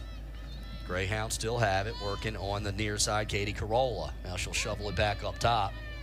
And just 17 seconds now on the shot clock for the Hounds. Still have the face guard on Sydney Black, and she's behind. Uh, we're still going to try to create imbalances on attack and see if we can really take advantage. Ooh. Shot in the score with authority. Georgia Latch with the laser, little side armed off the right side, finds the back of the net, and the Greyhounds now find themselves out in front 9 8. I don't know if you heard, but that kind of took my breath away. I, I, saw what was about to happen, and just I don't know how you stop that when somebody has a barrel like that. You definitely don't get in the way of it. You don't want to see shooting space on the other side of that shot, but uh, great shot. I mean, power. Way to start the second half. Not only did that shot have relish on it, the placement of it was incredible. There was going to be no chance of Elyse Finnelle getting over there to react to that firecracker coming at her. It's a 9-8 lead for the Hounds as they come out here in the third quarter and jump on top quickly. We'll see if that translates into a nice tone setter for the hometown Greyhounds. I'm going to say this might be the first lead for Loyola of the game. I believe you're right. The Florida Gators kept pumping that jab into the face of Loyola throughout the first half and stayed on top until right now. So just a half minute in, and the Greyhounds find themselves on top. Mad scramble for the loose ball and whistles. It's going to be Greyhounds possession. And Sydney Black will get things started. She goes quickly now. She'll wheel down the near side wing. Hounds feeling some momentum. Black charges in, gets cut off, and now she'll give it up. Greyhounds will try the other side. Smart possession. She could have shot it there. It looked like close to shooting space if she had pumped, and she knows she's not going to get too many touches uh, from here on out. So it was smart of her to try to take a challenge there because she had the ball. But they need the ball more than Florida. Time of possession is huge. There's a wicked right hand bounce shot, finds the back of the net. Looking good right there. Anna Ruby uh, gives the Greyhounds some breathing room now as Loyola jumps on top 10 8. And the Greyhounds have come out of that locker room scorching here in the third quarter. These stick side burners are, are you know, catching me off guard. I was going to say that the, the goalie doesn't seem to be tracking the ball. These balls are coming in on her stick side side. So usually as a coach, you're wondering, okay, maybe she's not seeing the ball. Sometimes you kind of freeze when girls are, are coming at you so quickly and the ball's moving so fast. So maybe they'll give her a breather or maybe she'll be replaced permanently. Yeah, both of those shots were eerily reminiscent of the other. The players coming hard down the right side, and like you're saying, the goalkeeper, you know, is kind of focused on that stick side. Next thing, the next thing the goalkeeper knows, uh, Elyse Finnelle, is that not once but twice that ball gets back to her offside and sizzles into the back of the net. 10-8 Hounds.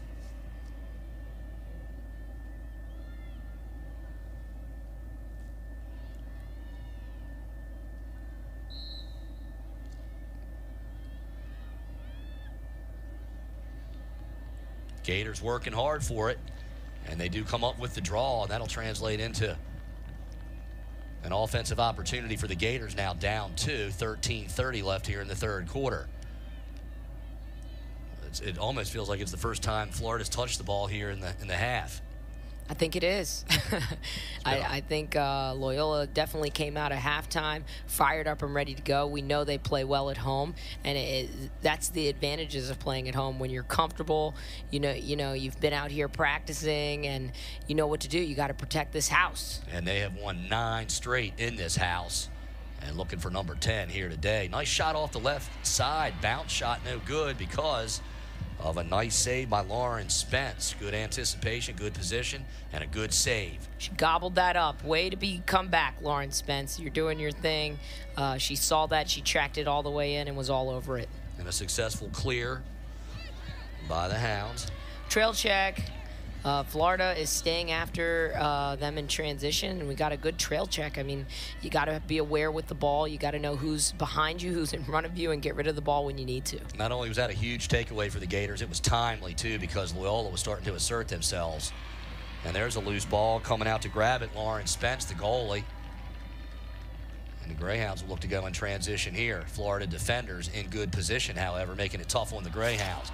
Good job splitting the defenders there by Katie Carolla. And now the Hounds will try the far side. A good clear by Loyola. They'll go back to work on offense, up two. Huge possession, huge possession. Big time. Yeah, uh, we got to see where we can score from. I mean, we've had two big right-handed takes. Let's see. You always want to have offense that's multi-dimensional. You want to be able to score from the crease, from the top, and from the wing. So we've had two big wing takes. Let's see if we can score from somewhere else. Hounds work it all the way around the horn, staying busy on the perimeter. Now they'll look to engage. Beautiful pass off to the left wing. Bounce shot no good to the near side. Loyola will run it down and maintain possession with a little over half a minute left on their shot clock. They re-engage quickly. I wanted to tell you what respect look like looks like. It's it's having a face guard put on you and then also having to send a double to, to wow. a player. when that happens, that's much respect. Uh, it's really hard to, to, get that type of attention, uh, and Sydney Black uh, it deserves it. A total focal point of the Gators defense. Just 10 to shoot for the Hounds. They'll work it behind the crease. Coming out on the wing, overhand shot, back of the net, score for the Greyhounds. Nice individual maneuver by Anna Ruby. And Loyola now enjoys their largest lead of the afternoon, 11-8. What I tell you, that multi-dimensional offense is coming out. They scored from the crease. Uh, it, it'll open everything up. It's hard to defend a team that can score from everywhere. Dipped that shoulder and got just enough space from the defensive efforts of Florida, and they tally the goal. We're going to step aside real quick. Don't you dare go anywhere. 10.54 left in the third quarter. Loyola 11, Florida 8. You're enjoying women's lacrosse right here on ESPN.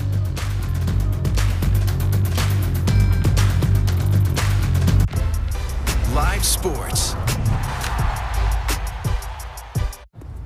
Question.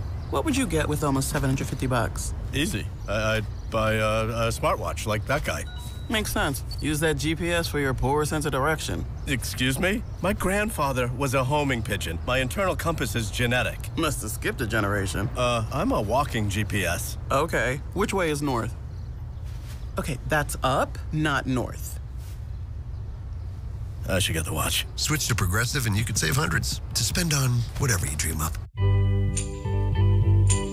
Grace didn't believe in magic, but her daughter was happy to prove her wrong. You were made to dream about it for years. We were made to help you book it in minutes.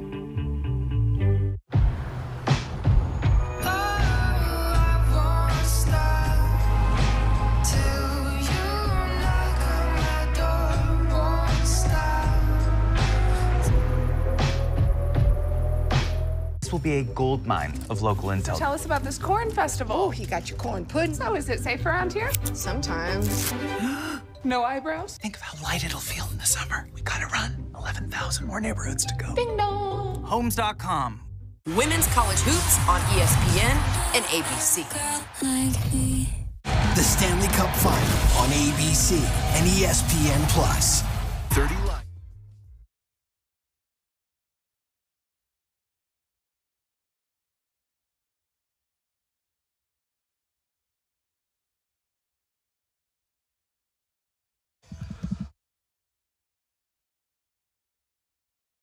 They have come out of that locker room on fire.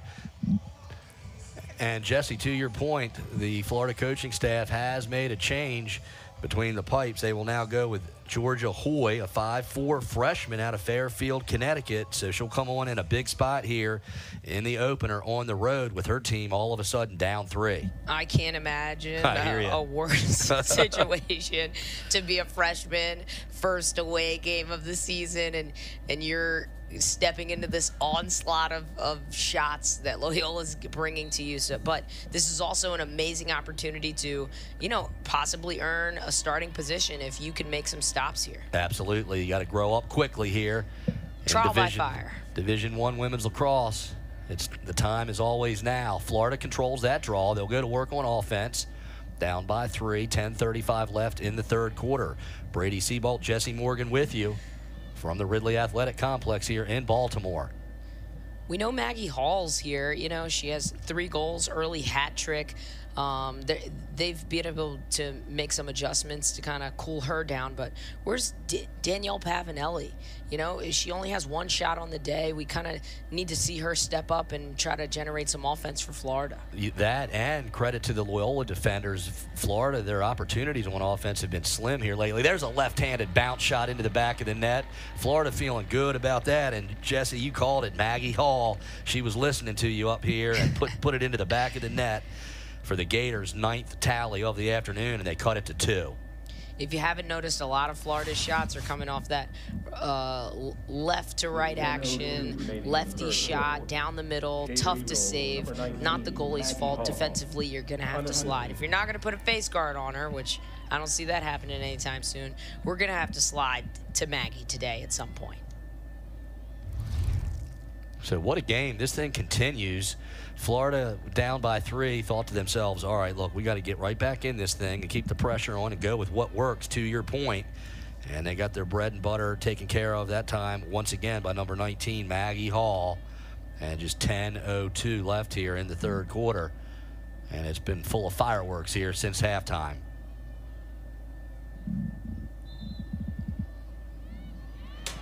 Nice draw control, out 50-50 ball. Great control.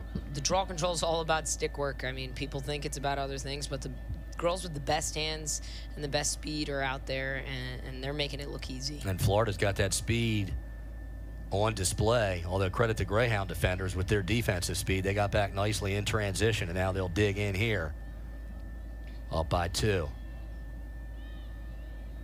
Full shot clock for the Gators. They'll take their time here. All right, Loyola. Maggie Hall has the ball. right, heads up. She's coming. Here we go. They had a cutter in the middle. Too much traffic, though. Pass a little bit behind the stick. And the Greyhounds take control of that loose ball, and now they'll look to flip the field here.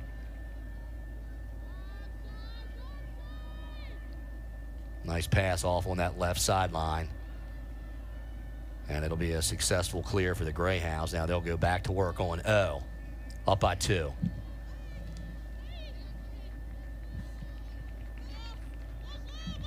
Fans feeling good for the hometown Greyhounds. Florida, they've traveled fairly well. I see some Florida colors here in the stands. Oh yeah, we have a, a lot of Florida fans in the Baltimore area because a lot of girls from Baltimore are down there in Florida. So I do see a lot of blue mixed in with that dark green. Mhm, Good to see. Working on the right side, Ronke.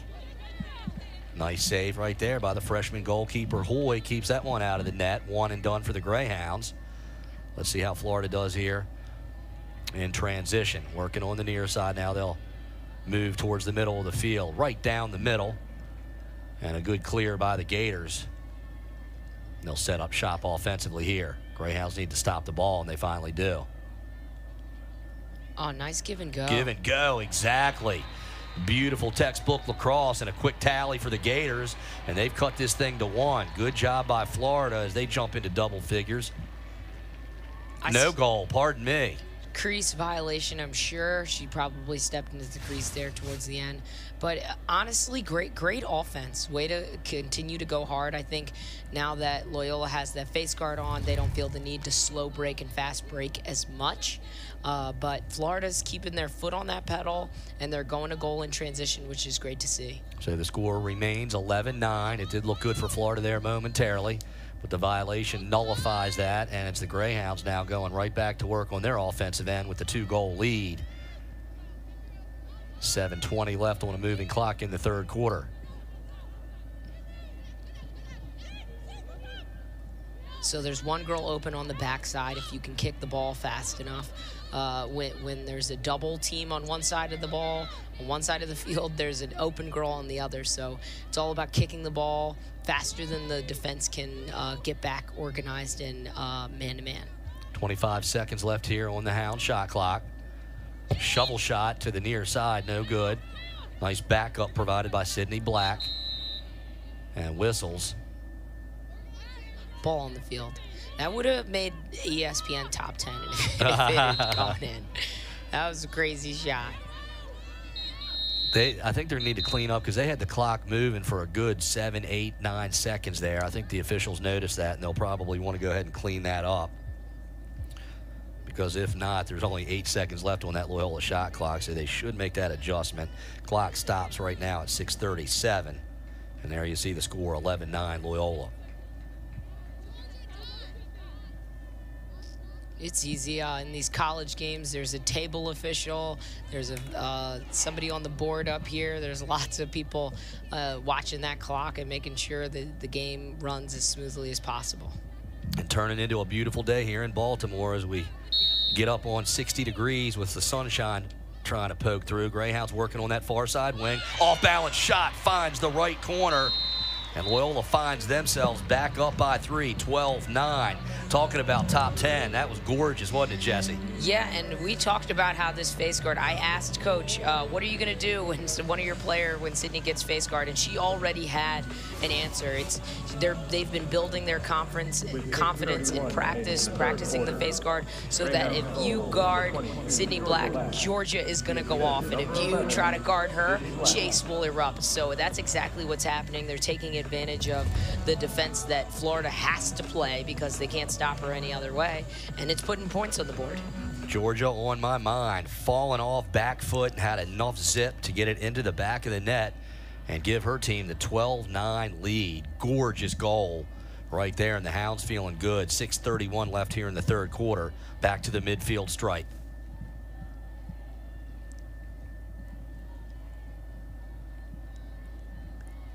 I wonder if Florida feels like uh, the game is kind of slipping away from them. Sometimes when you're not used to being behind, you play differently on offense and you rush. So I'm hoping that they don't feel like they have to rush their offensive possessions. There's 620 something left in this uh, quarter, so they can still continue to take their time on offense. Draw controlled by the Hounds. Sydney Black came up with the loose ball and was looking to engage, and she picked up some contact and the whistles blew and we'll get the restart going right now with 627 left and a full shot clock for the Greyhounds as well as a three-point lead. It was a cross-check on Paisley Egan, the 5'5 graduate midfielder from Wilton, Connecticut of the Gators.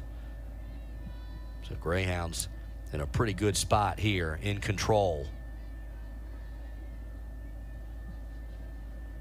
And number 27, Gianna Monaco, comes into the game for Florida. And back to live action. Greyhounds will work the left side. Double team pressure. Simply running away from it. Osborne. I mean, Jen She's- was completely right. She's had her skills on display I all mean, day.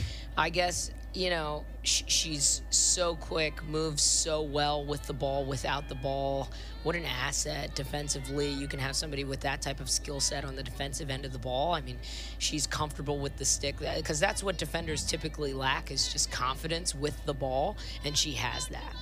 Everybody getting a touch here as they work it around the perimeter. Using some clock, 5.45 left in the third. Still a whole lot of time on the Loyola shot clock. Gator defenders dig in. Greyhounds send it behind the net. Looking for a cutter, bounce pass up to the top side. Sydney Black has it. Now she's directing traffic. Still half a minute on the Hounds shot clock. Black cruises down the near side wing. And she'll fire it off behind the net. So what Florida has to be really aware of Bang! Is the three seconds because I saw like four people in three seconds on Florida. So, but uh, Loyola didn't need it. They scored from the outside. They had imbalances. I knew it was just a matter of time. Georgia Latch with a hot hand. Didn't take long. She had that thing in her stick, planted the back foot, and fired the shot. Greyhounds with a 13-9 lead.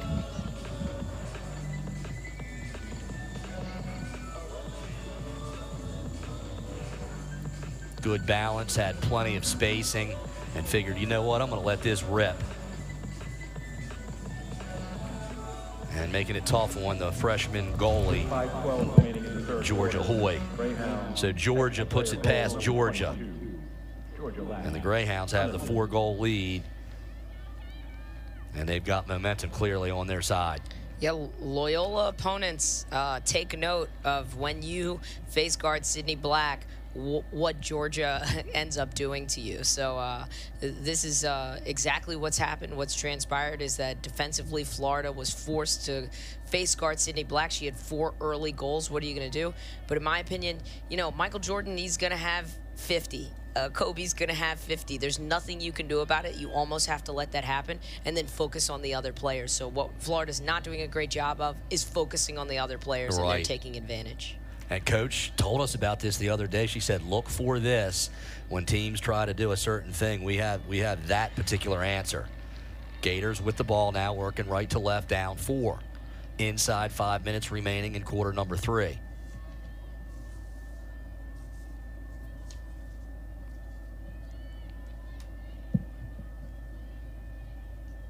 Florida shouldn't be too panicked. They have lots of time on the clock, and they, they've been able to, to get on Maggie Hall's back and ride that. I think you continue to do that until Loyola forces you out of it. Absolutely. And here's Hall on the far side, far away from the net. Facing some one on one defensive pressure, taking her time, still kind of hanging out over there on that far wing. We're back to full strength.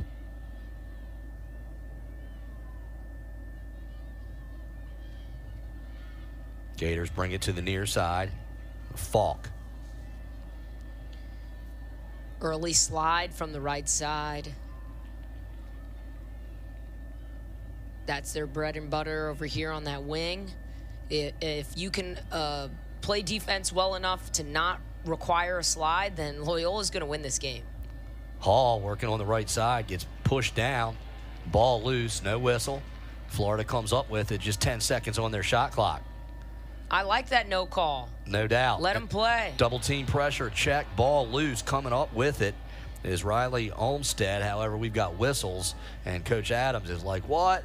Beautiful shot of Jen, 13 9 Loyola. Here's another look.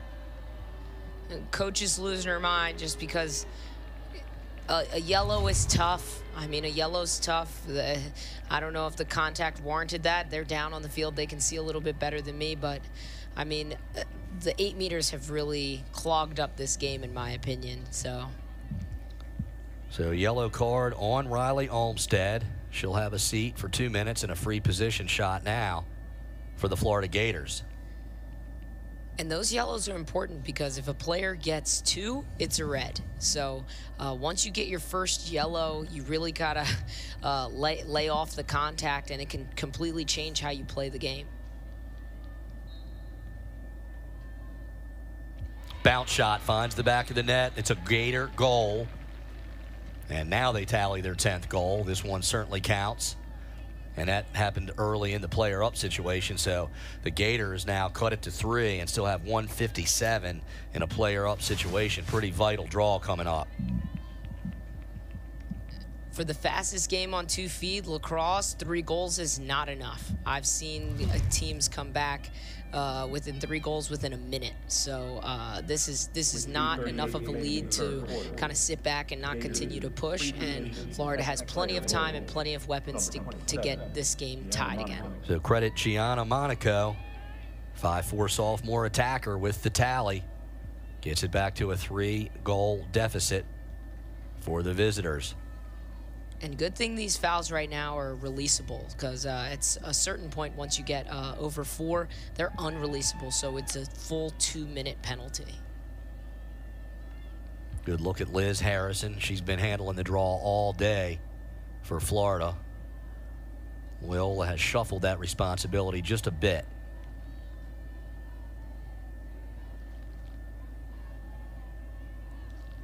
Think it's interesting to note that it's a beautiful day here in Florida. I mean, here in Baltimore, and the Florida girls have on puffy coats. right. uh, and long sleeves. not surprising. Yeah, they're not used to this weather out here. And, and we're up here thinking about how delightful it is at 60 degrees, and we're, we're ready to do spring-like things. Yeah. 320 left in the third. Hounds up 13 to 10. They not, they notched that draw, and we'll enjoy this position, possession. And it's a big sequence in the game, really, as the third quarter starts to wind down. Time is on Loyola's side. They can take their time and work for the last shot late within the possession because uh, as long as Florida doesn't have the ball, uh, they can't score. So uh, holding on to the ball, having possession of the ball, getting multiple opportunities is is the name of the game here. Working on the left side, zigzagging and scoring for the Greyhounds, Chase Boyle. Nice individual effort by Chase. And a good situation for Loyola as they re-extend the lead by four, 14-10. I was wondering where Chase was. She had two early assists in the first half, and now she's kind of uh, coming in and attacking the goal. So that's good, keeping her game balanced and taking advantage of those open holes in the Florida defense.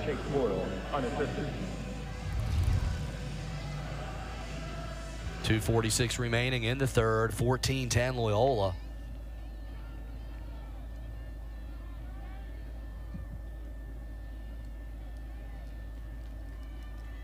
The Greyhounds doing a good job in their home opener. Good team lacrosse, sharing the ball, playing good defense as well, especially here in the third quarter. Did not give Florida many opportunities, just simply on time of possession alone.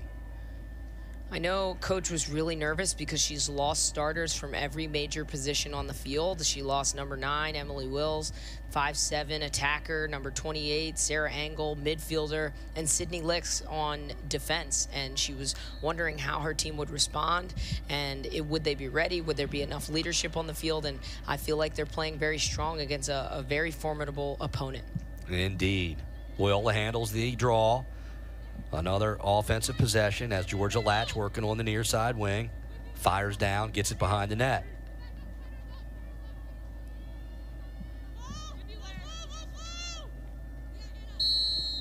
Whistle off the ball. It'll stop the clock at 219.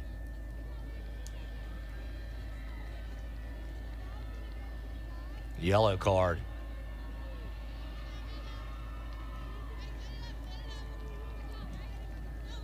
That's going to go against Emily Heller. She'll come off the field. And a player up situation for the Hounds, already up by four with possession, a full shot clock, and an extra player. And again, that, that full shot clock is a difference maker. I mean, it's one thing to get the foul, but then to allow the team to have another 90 second opportunity is huge when you only have around two minutes left in this quarter.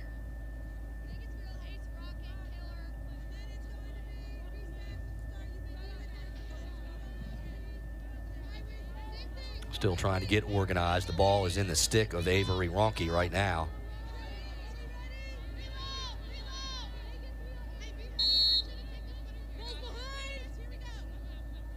Back to live action now. Full shot clock for the Hounds. If get it into the middle. And now kick it back outside to Ronke. Spin into the left, firing and scoring. Number 35, Anna Ruby with a left-handed laser and a 15-10 lead for the Greyhounds, their largest. It's tough out there. I mean, Loyola's doing it all. They're catching circus catches, spinning around, doubles, everything. So um, there's shooting space in there. There's three seconds, and they don't care. They still put it in the back of the net.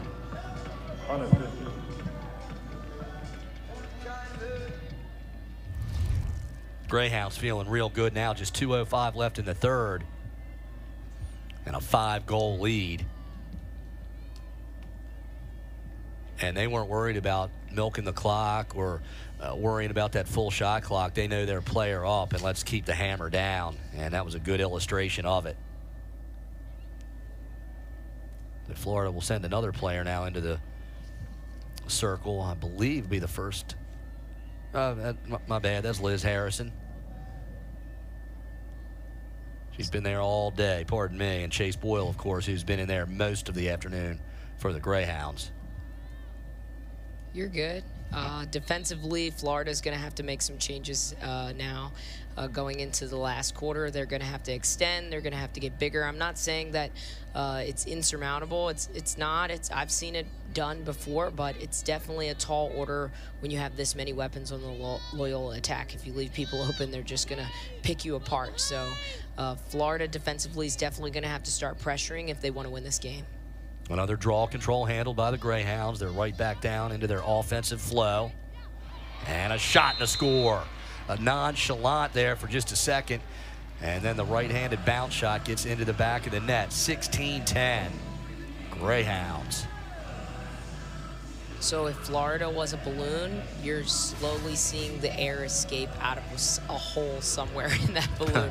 I mean, I, have never seen defenders look more deflated uh, in, a, in a while. So something's gonna, somebody's gonna have to be a spark here. So Latch gets it up to Chase Boyle. Boyle takes her time and then commits to the inside and fires off the right-handed bouncer for Loyola's 16th goal of the afternoon. And now certainly Loyola's largest lead of the afternoon. Timeout on the field. We will keep it right here with just 134 left in the third. What in the heck did Coach Adams tell these student athletes in the locker room because they have come out sizzling hot here in the third quarter, Jesse. I mean, she has 14 seniors and graduate students. I actually don't think she had to say much. I think she has enough senior leadership on that field to say, uh, this is our opening game. We've worked hard for this. I mean, since fall ball, they've been working towards uh, making sure this season wasn't a let up, a let down, and they have huge goals uh, going, you know, wanting to go far in NCAAs. And I, I think they have something to prove, especially since they lost this game last year. So she didn't have to say much. These girls can motivate themselves, and it's showing they're doing a great job. And here's a look at the media poll. Northwestern, Boston College, North Carolina riding high. Denver right in there. Syracuse, the James Madison Dukes, Notre Dame, and there are the Loyola Greyhounds right above the University of Maryland. And then this very Florida team also in the mix and rounding it out Stony Brook and Michigan those are some powerhouse teams so that's a good look at the women's division one media poll here early in the season first Saturday for both of these squads 25 shots ripped off by the Greyhounds, 19 by Florida. Ground balls, Florida has the edge there, 10-9. Great overhead camera shot of the Greyhounds. Looking for their 10th consecutive win here at the Ridley Athletic Complex. And number 33, the original starter, Elyse Finnelle, will get back out there for the Florida Gators. Good camera shot of Elyse. 5'8 redshirt sophomore. Local gal from Deale, Maryland, played at Southern High School down in Harwood. Yeah, a lot of these Florida kids have fans in the stands. You know, if you think they want to come out here and, and get slaughter ruled by Loyola, they don't. There's pride on the field. I don't don't think that they're going to lay uh, roll over quite yet. Uh, they still have a, a lot of weapons. They just need to start coming up with the ball and limit their fouls. 100%. So buck 34 left in the third, 16-10 Hounds. And back to the draw.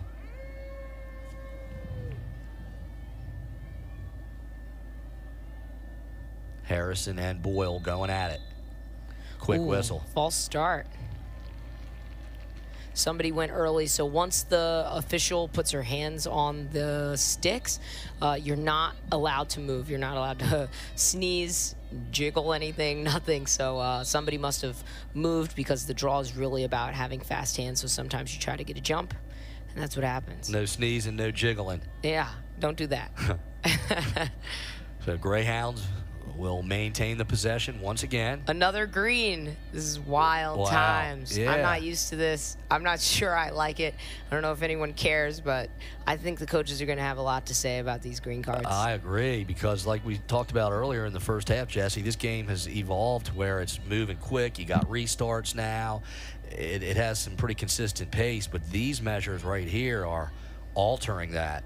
I mean, you there are five defenders on the field for Florida. You're supposed to have seven, and Loyola wants to win, but you also want to win fairly, and you want to feel good about it. I'm scoring on scoring on five people isn't that fun, believe it or not. Latch thought about it, backed off, gets it into the middle, finds a cutter in traffic. Crease. Crease violation on Loyola goes back over to Florida and a, a rare possession for the Gators inside a minute left, And now- 45 seconds. Now they're going to have to transition with two less people, so you get to put your fastest player on the goalie. Pray, Yep. pray for her. And then you get to uh, really zero in on all the other players. Really, oh, the Gators no. the Gators are just looking to get to the fourth quarter here. Half a minute left. They just want to choke out the clock here and end this quarter. You just want to give this ball to one of your fastest kids and tell her to run with her head down. Double- Oh my goodness! Double team pressure and a whistle on Oh, Loyola. they called a timeout. Okay. I thought it was going to be us. Timeout. Me too. I was getting upset. It's about to be another green card. Absolutely not. But good timeout. You want to retain possession of the ball. Turnover there with the goalie out of the cage. Oh, Oh, yeah. Gets ugly. No doubt. So Amanda O'Leary wanted to stop the action, let her team regather, recollect themselves, and keep on hanging in there down six. A third quarter explosion by the Greyhounds has them out in front 16 to 10. We'll have some updated statistics for you here as we get going in the fourth quarter. A look at some area youngsters clowning around with Iggy on a beautiful day here in Baltimore. A good crowd on hand for the home opener. And as we mentioned, some Florida Gator fans have traveled here to Charm City as well. This is uh, the 20 seconds are, are important. I mean, the, the Florida staff is going to have to figure out how to get the ball down the field, uh, and they're probably going to have to strategically put players on the field that can handle a lot of pressure and run through it and get uh, into their fast break offense and score. They need a goal. 20 seconds, you have the ball, you need to score. Stay connected with the Patriot League, its member schools and student athletes through Facebook, X, Instagram, and YouTube. All the platforms available for Patriot League social media. Let's get one more in as well for the Patriot League store. Visit thepatriotleaguestore.com to buy Patriot League championship apparel and merchandise from your favorite Patriot League school.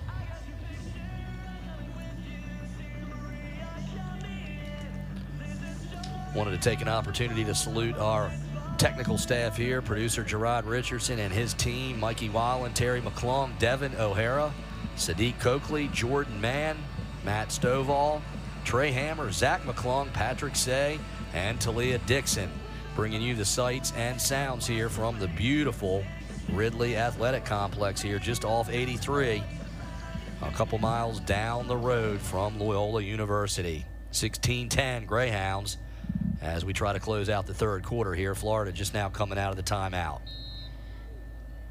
So this is a player that's going to be confident with the ball. She's going to put her head down and run. That, that's all you got to do. And she's Uh, got wheels. Yeah, when when you have speed, it, it really makes transition easy. when you don't, when you're me, you got to do a lot.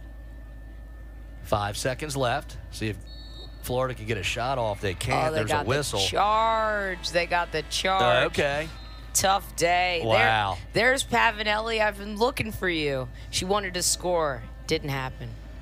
So we'll go ahead and step aside and get you set for fourth quarter action from Baltimore. After three, it's the Greyhounds who have gotten red hot.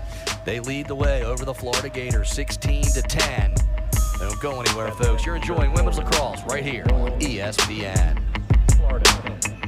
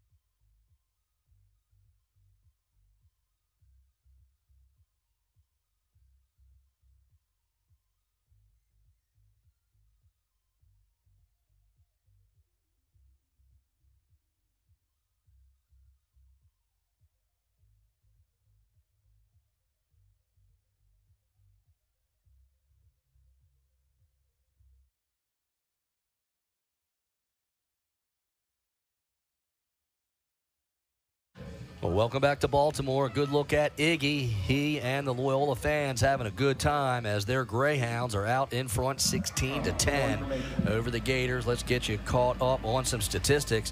For the Gators, Maggie Hall with five goals, Emily Heller with two, Sarah Falk has one, Gianna Monaco one, and Ava Ty with one. Assists for the Gators, Gabby Corey with one, Waters and Madison Waters with one as well to round out the Florida scoring. For the hometown Greyhounds, Georgia Latch leading the way with five. Sydney Black right there with four goals.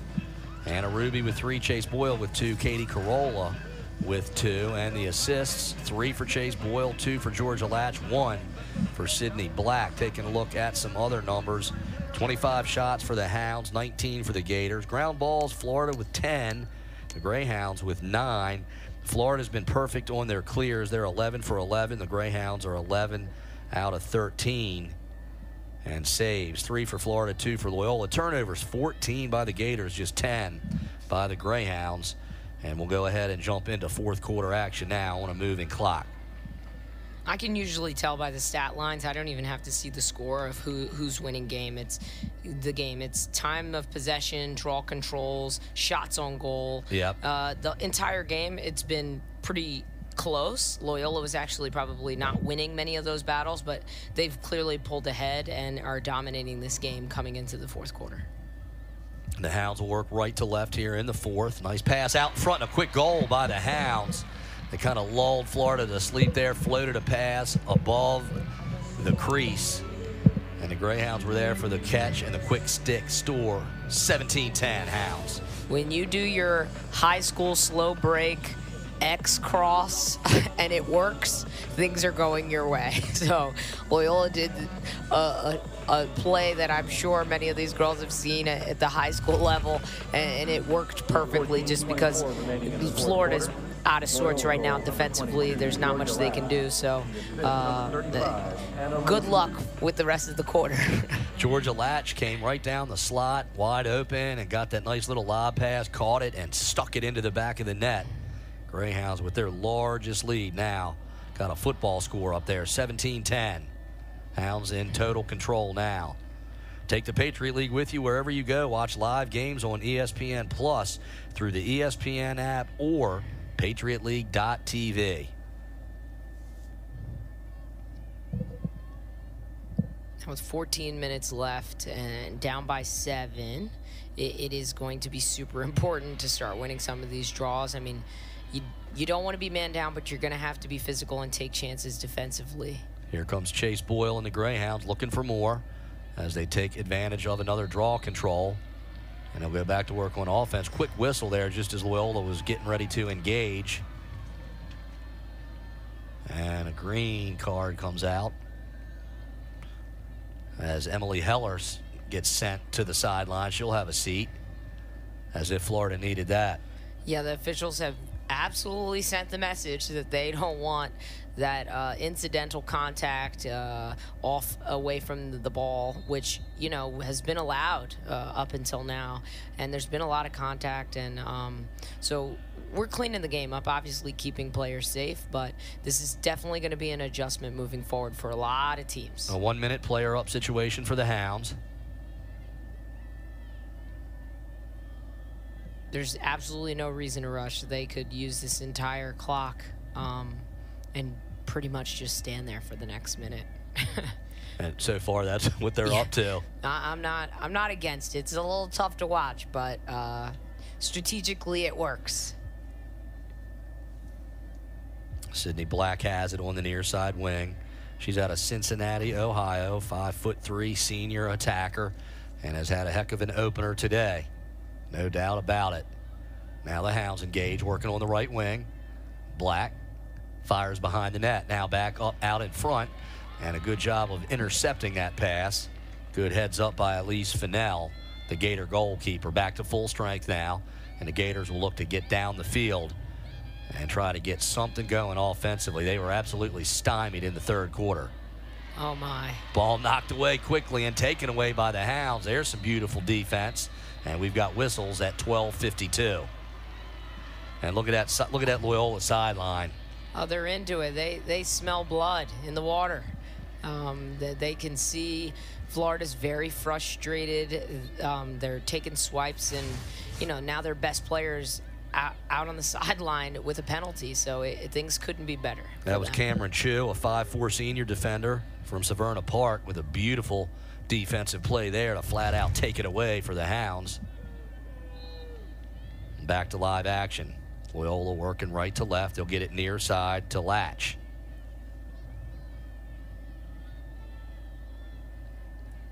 Now she'll get it downstairs to Ruby. Anna taking her time back up top to the wing to Latch. Defensively, Florida's in a zone. You see those three players up top. There's two on the crease, and then there's a rover kind of halfway in between the crease and the elbow. She's going to pick up every cutter that comes through the middle and try to stay out of three seconds because she can't be in that at that eight meter for more than three seconds, and she actually has to get both feet out of it to for her reset to count. Latch tried to get something going. Good job of the Florida Gators clamping down on her. Calls the turnover. Florida working left to right. Good transition defense there. Wow. Sydney Black with the ride. Sydney getting it done on both ends of the field. I mean, when you have your very good attacker playing defense like that, you're winning as a coach. I mean, it just doesn't happen. Usually, attackers are literally defense adverse. They don't want to, to play on the other side of the ball. But when you can get them to play and play hard, it's just it's it's unbeatable. I mean, you, you can't beat it. Reagan Kielmeyer working the top side for the Gators. She'll fire down here now onto the right wing. Pardon me.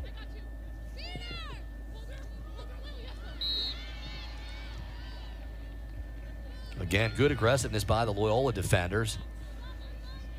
That little swipe. Uh, There's Lily. Yeah, Loyola is known for that. If you've ever played against Loyola, they're known for that little swipe in, into your hands, dislodging the ball and getting ground balls. Uh, they, they've, I don't know if they're teaching it to all their defenders or the defenders are passing it down, but it's definitely a, a Loyola thing.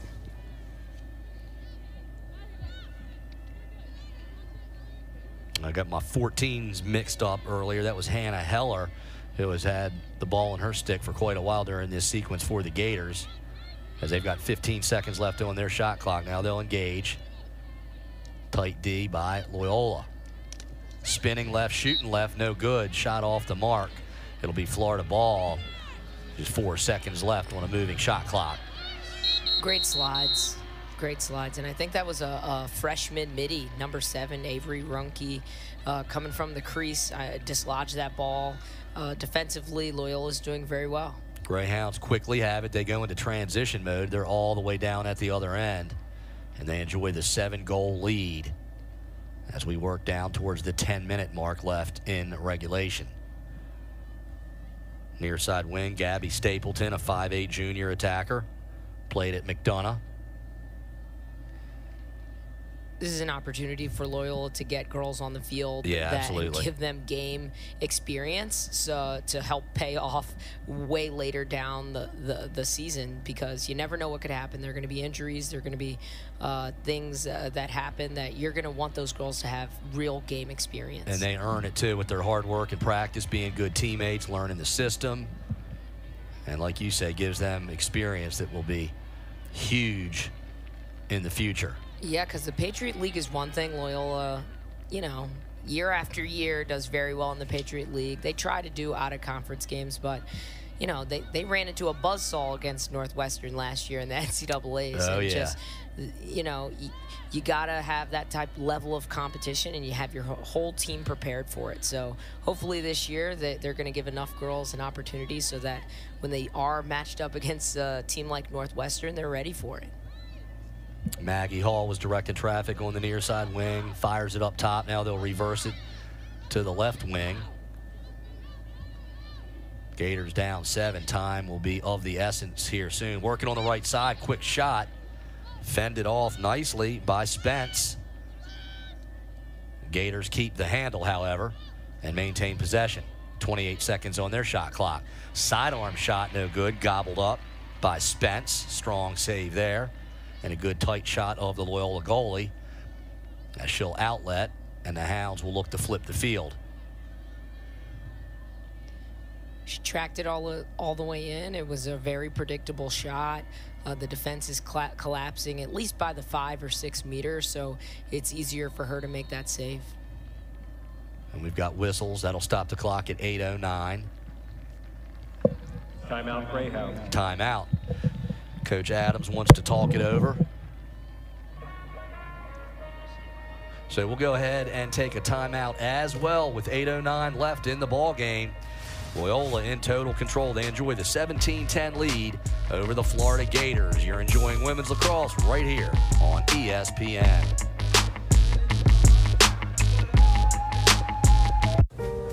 Okay, when you turn around, you're gonna see someone. You have a turkey and cheese. Let's imagine that LL Cool J has a bubble around him. Do we want to be Hey, I'm? Keith. Ah. there are some situations that young homeowners turning into their parents just can't handle. Yep, there he is. There's my nephew. Now, I got a video of him uh, playing piano. That's not how you take a selfie. Progressive can't save you from becoming your parents, but we can save you money when you bundle home and auto with us. Three, two, one. We don't need a countdown. Just take the picture. You never know what the weather will bring. Rain-X water repellency wiper blades apply the magic of Rain-X to your windshield, so water beads up and flies away. The improved water beading technology lasts longer, so you see clearly, season after season. Let the weather drive you inside?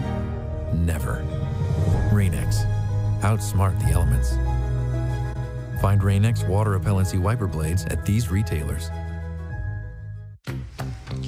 Fashion always came easy to me. Then I transitioned to television, and the fashion critics said, play it safe. No bright colors, no chest hair. So I decided to call an audible. Because when I'm around beautiful garments, I'm not creating a look or a style, I'm telling a story. Where do I get my inspiration? A weekend spent with a lumberjack. London's sprawling underworld. It's everywhere if you're listening. Ignite your imagination. Audible.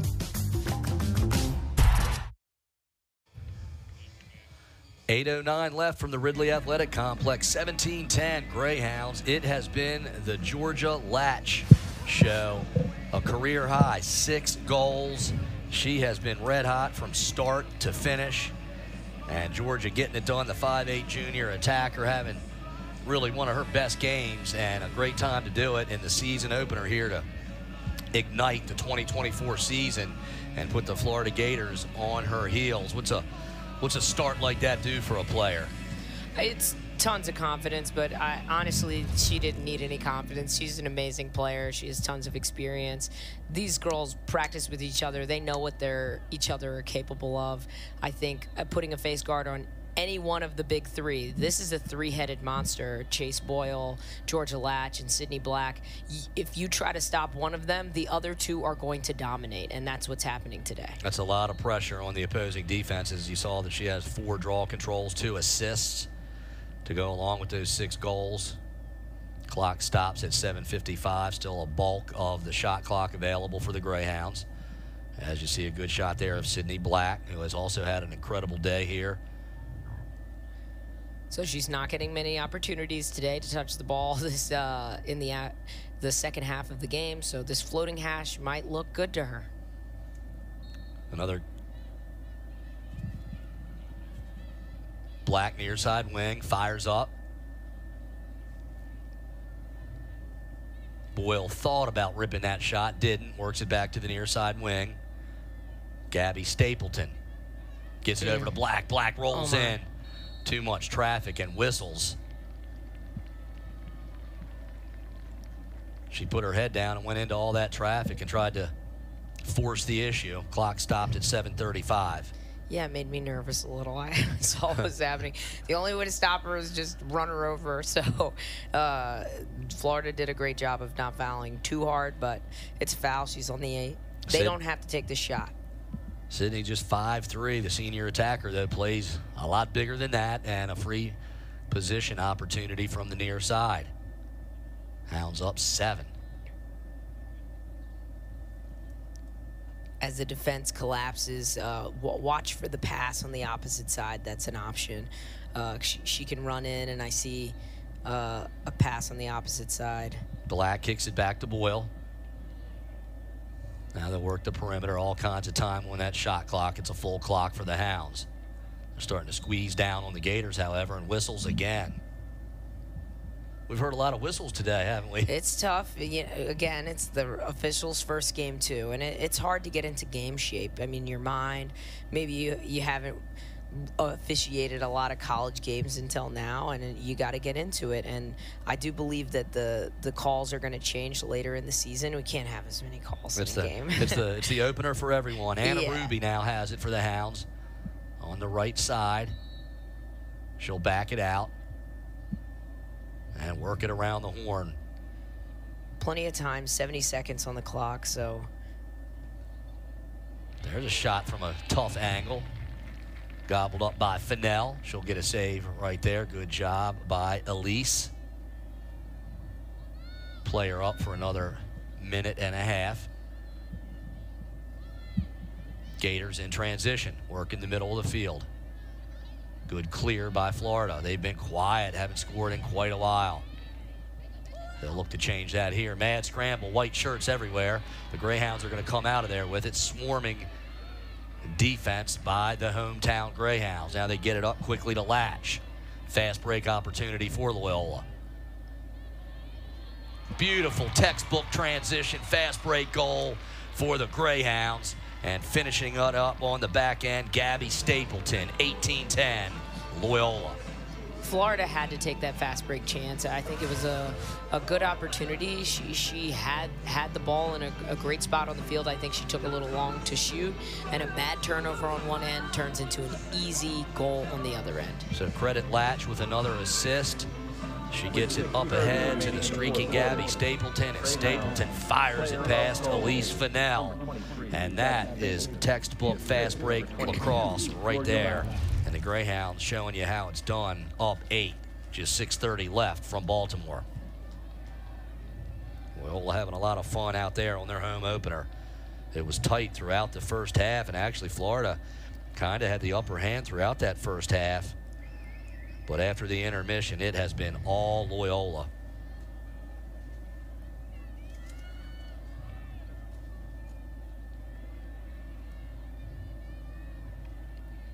Think if Florida had to play the game over again, they might make different defensive adjustments. I, I we're too far into the game now to predict what would have happened had they not um, face guarded Sydney Black. But obviously, if these two teams play each other again, uh, they know not to do that. We were we were tied up at eight at the half, and Loyola came out in that third quarter and took an eight-two advantage. And Florida's been held scoreless here in the fourth quarter. And that translates to an 18-10 lead for Loyola. Make it 19-10 as they go fast again and put it into the back of the net as Sydney Black stays red hot for Loyola. Let's see if they're going to count that. We do have a whistle and a conversation down there, and the scoreboard has not changed yet. The officials are continuing their conference.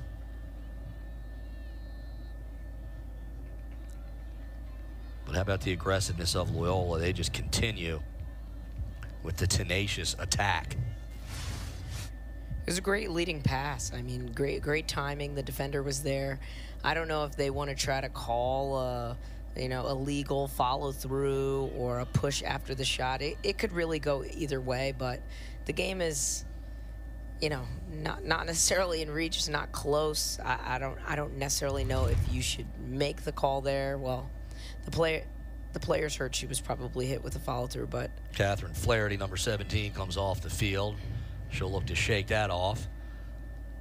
that's a tough call because the defender's in the way. You know, maybe maybe if you call the shooting space when she catches it, uh, it could have prevented that contact. So it will not be the 19th goal for Loyola. The ball goes back over to the Gators as we work down towards six minutes left in the ball game. Florida with the length of the field to go. Gators working on that left side. Greyhound defenders looking to fill. Again, they have to take their chances and they have to go quickly. They cannot wait. Uh, it should be all dodging, driving, and creating out of the drive. The right player has it, but they've got to go. Maggie Hall Working on her left hand. Fires off to the other side. Good defense by Logan Olmstead of the Greyhounds. Shot no good off the pipe. Rebound to Florida Gators will keep the handle. Five minutes, 20 seconds left from the Ridley Athletic Complex. They get a new 60 seconds on the clock after hitting the pipe, so that helps a lot. Wicked right-handed shot, had some heat on it, no good off the mark. That was fired off by Emily Heller. Gators still have it. Swarming defenders. You just see white jerseys everywhere. Greyhounds take it away. Good defensive pressure by Elisa Faclaris. And we got whistles with 4.53 left. Oh my. It's a green card. Mm.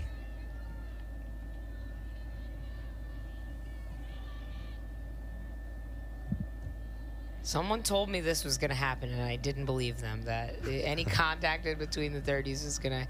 I think Courtney Connor told me that this is going to happen. She's a, another ESPN um, color commentator, but it, I did not believe her, and, and it's it's actually happening, and it's just unbelievable how what effect this is going to have on the game, and just I'm glad I'm not coaching anymore because I'm not exactly sure how I would coach it. You owe her a text message after the I game. did. I should have believed Two you. words. I didn't You're right. you. or three words. You were right. Yeah. Oh, she's gonna love that.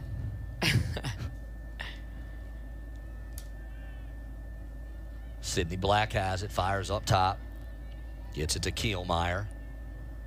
Back and forth.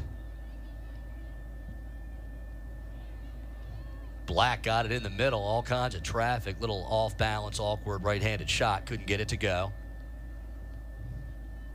And just 4.17 left.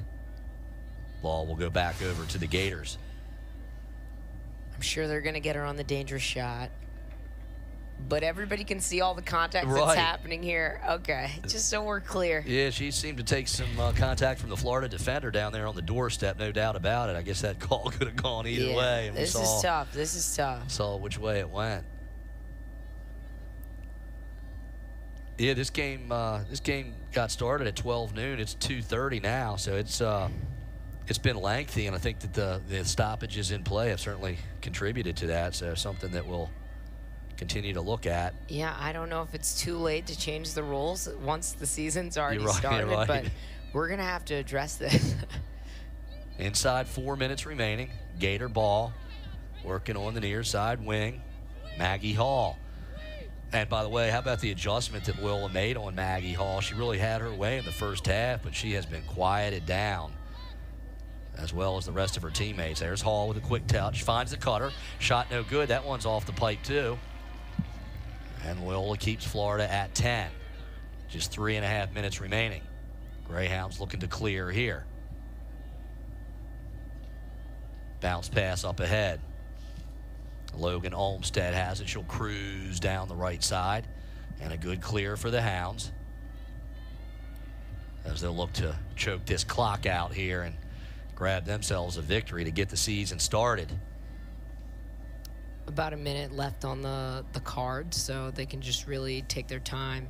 But you don't see Florida pressuring out. I think they've um, kind of decided that they want to get out of here, no injuries. You know, save it to fight for another day. Yeah, they will play Scotland on the 14th. And then, as we talked about, at North Carolina and at Maryland. Tough sledding for the Gators, no doubt about it. And not that Florida isn't a great team. I mean, Oh, no doubt. They're they're an amazing team. They have strength all over the field. I think it comes down to a lot of matchups, and sometimes Mm-hmm. when you have a matchup that just uh, can dominate, uh, it, it's hard to overcome that. So uh, Loyola is not a great matchup for them today, but Carolina could, could propose uh, completely different challenges. Good sequence there by the Gators. They'll take it away from Loyola as we work down towards two minutes remaining. Gators working left to right. 18-10 Greyhounds.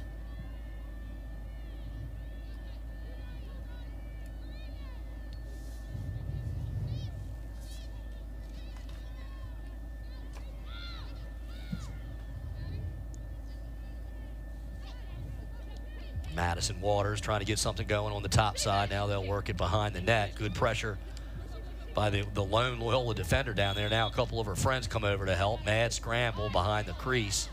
Florida comes out of there with it. But we're going to have whistles, and it's going to go back over to the Greyhounds with just 92 seconds remaining. Good ball movement. Sometimes when you're down, it just seems like the ball doesn't bounce your way. Look at Osborne with some wheels, just flat out ripping down the middle of the field, leaving Gators in her rear view mirror. Gets it up ahead to Reagan Killmeyer. Greyhounds looking to finish up strong. Just a minute, 10 seconds remaining. They got down to that other end of the field quickly.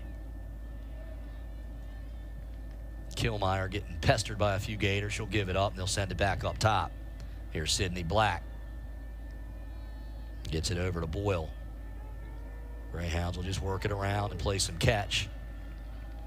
45 seconds left from Baltimore.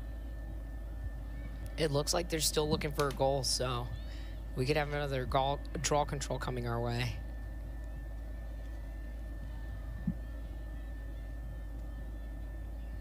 Boyle throws it into the middle.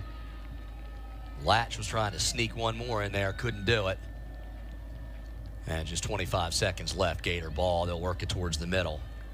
And we will go ahead and blow the candle out on this one.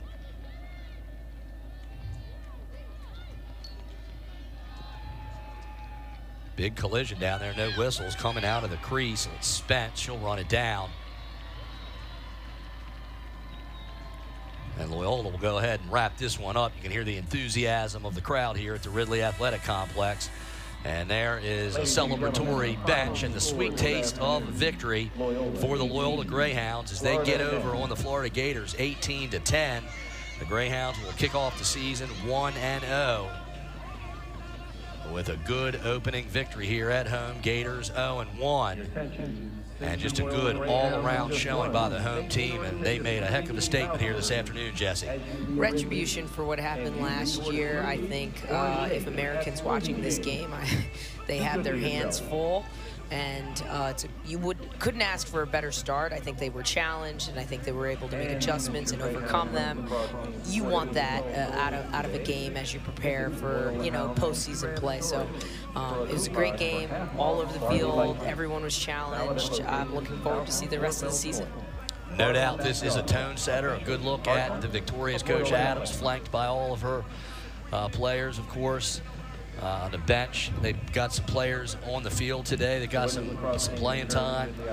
And it was a fun way to start the season here on a beautiful February day here in Baltimore. A good look at Georgia Latch. She had a big game, as did Sydney Black. And really from top to bottom on this roster, they got it done. So we will go ahead and wrap this thing up from the Ridley Athletic Complex. Just a feel-good day for the Greyhounds. And for executive producer Gerard Richardson and my broadcast partner Jesse Morgan, I'm Brady Seabolt saying so long from Baltimore as we show you the final stats there. 18 goals by the Greyhounds, 10 for Florida, and the rest of the numbers help tell the story. Enjoy the weekend. And thanks for tuning in. You've been enjoying women's lacrosse right here on ESPN.